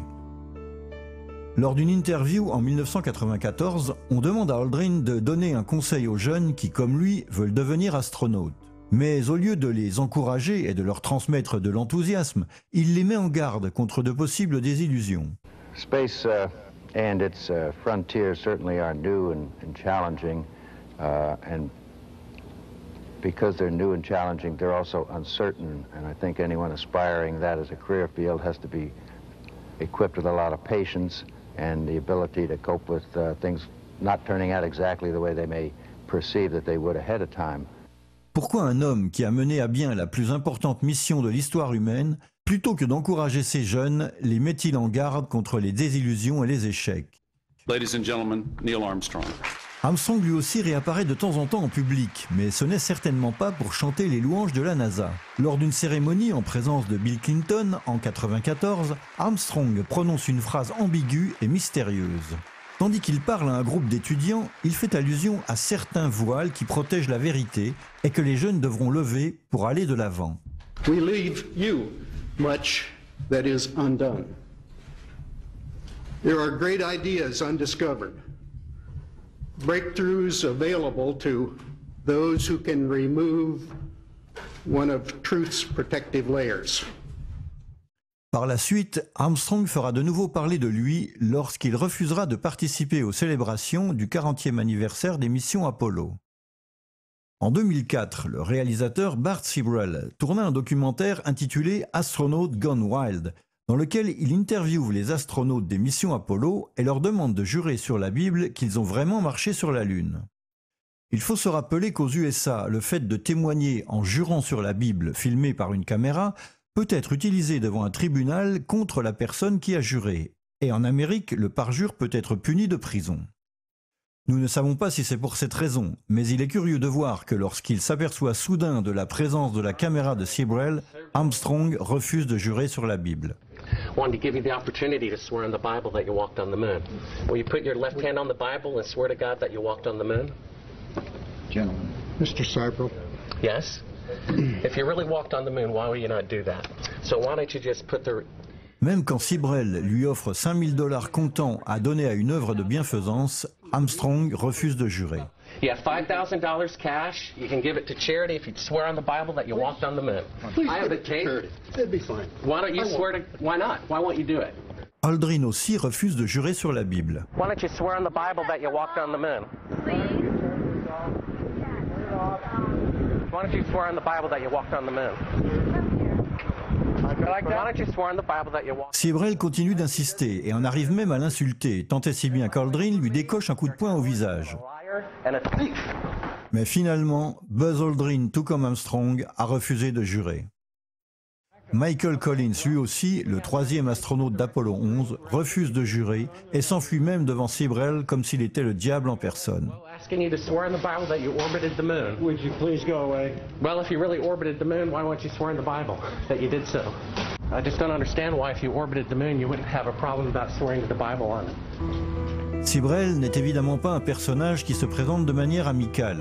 Mais si l'un d'eux est effectivement allé sur la Lune, alors pourquoi ne pas jurer? Il aurait suffi d'allonger la main sur la Bible et de dire ⁇ Je le jure ⁇ pour se débarrasser une bonne fois pour toutes de ce personnage encombrant. En outre, Armstrong aurait même pu donner 5000 dollars à une œuvre avec ce geste. Mais aucun des trois astronautes n'a voulu le faire. Pourquoi?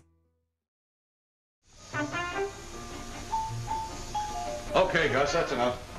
Take it.